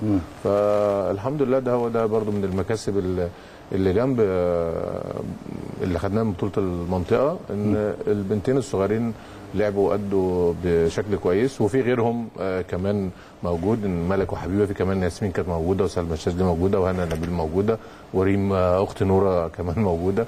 فالحمد لله إحنا عندنا هنجيلك. عندنا عندنا قاعدة في في الناشئات الحمد لله كويسة. الحمد لله. يعني كابتن إيهاب الألفي مط- مطمئن على جهاز الناشئات مطمئن على إن كرة السلة سيدات هتفرز لاعبات في المرحلة اللي جاية كتير. طبعا إن شاء الله لأن هم الأساس. تمام. لأن هم الأساس وإحنا بنينا من أول يوم م- مسكنا فيه الدرجه الأولى إن كان لازم الاعتماد على الناشئات لكن عندنا غيابات كتير. طلعنا حوالي ست سبع بنات من تحت 18 سنة هم كانوا النواة أو القوام للفريق مع باقي ال- الأعضاء الفريق الموجودين. ال- مش الكبار يعني اللي هم أكبر منهم سنا لأن الحمد لله إحنا معدل أعمارنا في الباسكت بول سيدات قليل جدا يا كابتن خالد الحمد لله إحنا من أصغر ال ال يعني أقل عمر في متوسط العمر. دي تقريبا. أنا نورا 97 98 عندي ست, بنات 98 عندي 2002 بيلعبوا معايا 22 23 سنة يعني. آه، يعني المتوسط يعني ممكن يعمل 21 سنة. هايل فالحمد لله إحنا ماشيين بشكل كويس والناشئات آه، عندنا كويسين هم بيلعبوا من الس... يعني مش من السنة دي بيلعبوا هم بيلعبوا من السنة اللي فاتت واللي قبليها. الحمد لله. فده ده, ده المكسب آه، اللي يرضينا أنا ككوتش بصراحة إن ال- البنات بيلعبوا. والحاجة كمان إن أنا مش بلعبهم آه، وأنا مضطر. لا أنا عندي نجوم وعندي لعيبة منتخب مصر وعندي آه، نجوم منتخب مصر والبنات الصغيرة بتلعب. هو ده بس ال... مش إن الكبار بطلوا أو الناس اعتزلت وسافرت فأنا مضطر العب الصغيرين. لا هم بيلعبوا مفيش فرق عندي في الملعب بين صغير وكبير. بره الملعب ممكن يبقى في صغير وكبير لكن جوه الملعب كلهم واحد. وهم اتعودوا معايا على الموضوع ده بصراحة. والبنات كانوا بيخافوا إن هم يطلعوا الدرجة الأولى زمان. دلوقتي بيحسوا إن هم أصحاب ومفيش فرق. آه آه، الاحترام موجود وكل حاجة موجودة لكن بصراحة الفرقة سيدات النادي الأهلي أو باسكت بول سيدات النادي الأهلي لما يطلع حد ناشئ بي من بيحس إن هو بيلعب مع فرقته آه، إن كانت 18 سنة أو 16 سنة بصراحة هي دي الميزة وأنا بحييهم أنا يعني أشهد. على هذا إن أنا شفت حضرتك جوه الملعب لامم البنات أخواتك الصغيرين يعني مع احترامي كل ليهم يعني كباتن كبار لكن فعلا بحس إن انت الأخ الأكبر لإخواتك الصغيرين كابتن إيهاب حاجة جميلة جدا. نتمنى إن شاء الله في المرحلة اللي جاية برضو نفضل مستمرين على هذا الأداء. كابتن نور تقولي إيه لفرقتك السنة دي؟ وأنتوا داخلين أخدتوا أول بطولة في أول ال season وداخلين بتع... بتعملوا season إن شاء الله إن شاء الله. أنا عارف كابتن إيهاب الالفي طموحه إيه في الموضوع لأن هو صديق شخصي. لكن قولي لي حققتوا أربع بطولات السنة اللي فاتت والطموح اللي جاي تقولي لي فرقتك النهارده؟ وانتوا داخلين على معترك قوي جدا في بطولة عربية وفي بطولة أفريقية وفي دوري ممتاز أو دوري مرتبط. تقول لهم إيه؟ أول حاجة طبعا إن إحنا نكمل على كده ودي دي بداية ومفروض ناخدها حافز للخمس الاربع بطولات اللي جايين وإن شاء الله يبقى الأداء و... والنتيجة أحسن من السنة الجاية إن شاء الله. أحسن من تقولي السنة اللي فاتت. تقولي إيه لأسرتك؟ الأسرة؟ أسرة كرة السلة اللي هي البيت العيلة. تقولي لهم إيه؟ تقول لهم توجه لهم رسالة شكر. توجه لهم تقول لهم إيه؟ طبعا بشكرهم كلهم. كل فرد فيهم بابا وماما وإخواتي آه، إن هم دعموني لحد ما وصلت آه، في team basket. وإن شاء الله بقى يبقى ده الروتين مع أختي وأخويا الصغيرين. كلمة أخيرة لجمهور النادي الأهلي. انتظروا السنة دي. انتظروا السنة دي. تقولي لجمهور النادي الأهلي النهارده وهو بيتابع أول فوز البطوله وعايزينهم يجوا لغاية الملعب. يعني كابتن إيهاب الألفي قال لي ده السلاح بتاعنا الأساسي في الفترة اللي جاية تقول لهم إيه؟ بقول لهم إن البطولة اللي إحنا لسه واخدينها امبارح دي إن شاء الله هي بس مجرد بداية وإن إن شاء الله إن شاء الله هنعمل زي السنة اللي فاتت وه- وهنكتب التاريخ مرة تانية وهناخد كل البطولات. بس محتاجين دعمهم تقولي لاسرتك إيه؟ آه، عايزة أشكر طبعا مامتي وبابايا عشان أنا عمري في حياتي ما كنت أوصل اللي أنا فيه ده لولاهم. يعني دي حقيقة. أنا أنت فعلا كلمتي حقيقة وحقيقتي و- وكلام واقعي. كابتن إيهاب كلمات أخيرة لمجلس إدارة النادي الأهلي. تقول له إيه؟ آه لا أنا بشكر طبعا مجلس إدارة النادي الأهلي كاملا على على الدعم وال- والمساندة. بصراحة الحمد لله كل حاجة طلبناها كانت موجودة. وغير الحاجات اللي إحنا طلبناها على ال على ال يعني فعلا الدعم المعنوي اللي موجود. زي ما شفت كده مداخلة آه، باشمهندس محمد السراج هم أعضاء مجلس إدارة معظمهم يعني بصراحة كلمونا وباركوا لنا وباركوا للبنات ودي حاجة آه، يعني بتسعدنا وحاجة أنا بنقلها لهم فبترفع معنوياتهم جدا. آه، بصراحة فأنا بشكرهم جدا ونتمنى نكون يا رب عند حسن ظنهم إن شاء الله وتبقى البطولة العربية تبقى إن شاء الله ترجع بعد غياب 23 سنة. يعني. بس الحاجة مش عارف ينفع أقول كده ولا لأ. يعني في ال- تقول مو- عايز. على موضوع الجمهور أنا بصراحة أنا كنت محضر إن أنا هعمل طلب ل آه، كابتن خطيبه وكابتن رؤوف إن أنا آه، البنات دي عمرها ما شافت الجمهور. إحنا اتعودنا وإحنا لعيبة وأنا عارف يعني إيه جمهور النادي الأهلي. فعايز في التمرين قبل البطولة العربية آه، طلب الجماهير. إن أنا أدخل الجمهور استاذن مجلس الإدارة والنشاط الرياضي إن أنا أدخل الجمهور عشان البنات وإحنا في اسكندرية أو اللعيبة وإحنا في اسكندرية ما يحصلش خضه من الجمهور فتيجي بنتيجة عكسية. فكنت عايز بصراحة محضر إن أنا آه، آه، استاذن إن أنا أدخل الجمهور. لو ينفع ولو إحنا دي تنفع ساعتها إن يخش ويشوفهم تمرينة أو تمرينتين لأن مش هيبقى عندي ماتشات ساعتها. فده هيبقى عامل مؤثر جدا جدا جدا لأن أنا عمري ما هكسب البطولة العربية من غير جمهور النادي الأهلي. أكيد أكيد كابتن رؤوف عبد القادر هو سمعنا وأكيد لو في لوائح النادي الأهلي بتسمح بده أكيد هيحصل وأكيد هيساعد وأنا عارف هو بيبوش كل الفرق من كل اتجاهات عشان توصل للمكسب. طبعا. كلمة من حضرتك للأسرة الصغيرة بيتك أهل بيتك مراتك وولادك اللي هم مش بيشوفوك خالص تقول لهم إيه؟ والله طبعا أنا بشكرهم جدا وبالذات مراتي يعني بصراحة لأن هي فعلا مفرغانيه كانت رياضية وفاهمة ولعيبه في النادي الأهلي فهي طبعا هي فاهمة فالحمد لله هي فاهمه يعني إيه رياضة ويعني إيه معسكرات ويعني إيه بطولات ويعني إيه بريشر جوه النادي الأهلي ويعني إيه منافسة؟ فالحمد لله يعني هي شايلة الموضوع تماما موضوع الولاد وال- والبيت تماما صراحة أنا بشكرها وبحييها وبشفق عليها يعني. والحمد لله اللي أنا موجود فيه ده يا ربنا يجعلها سبب إن أنا أكون موجود فيه الحمد لله. يعني. كابتن أنا بشكرك شكرا جزيلا. بتمنى لك يا رب في المرحلة اللي جاية أنت والكباتن الكبار اللي قاعدين قدامي إن شاء الله بإذن الله تجوا لنا تاني وتنورونا. في بطولة تانية بإذن الله قريب وهي البطولة العربية. كابتن إيهاب شكرا جزيلا. يا رب الله يخليك يا كابتن خالد. نورتونا يا كباتن. بشكركم. كان معانا النهارده كباتن فريق سيدات كرة السلة بالنادي الأهلي والمدير الفني الناجح كابتن إيهاب الألفي اللي فازوا امبارح ببطولة منطقة القاهرة. لكرة السلة سيدات. دائما وأبدا بنكون مع كل فرقنا في كل المواقف وكل المواقف ال- ال- الفائزة أو الفرق الفائزة في كل مواقفهم. في نهاية حلقتنا النهاردة بشكركم شكرا جزيلا وتابعونا من الحد من السبت للخميس من 7 ل 10 والأهلي ليلة. شكرا وإلى اللقاء.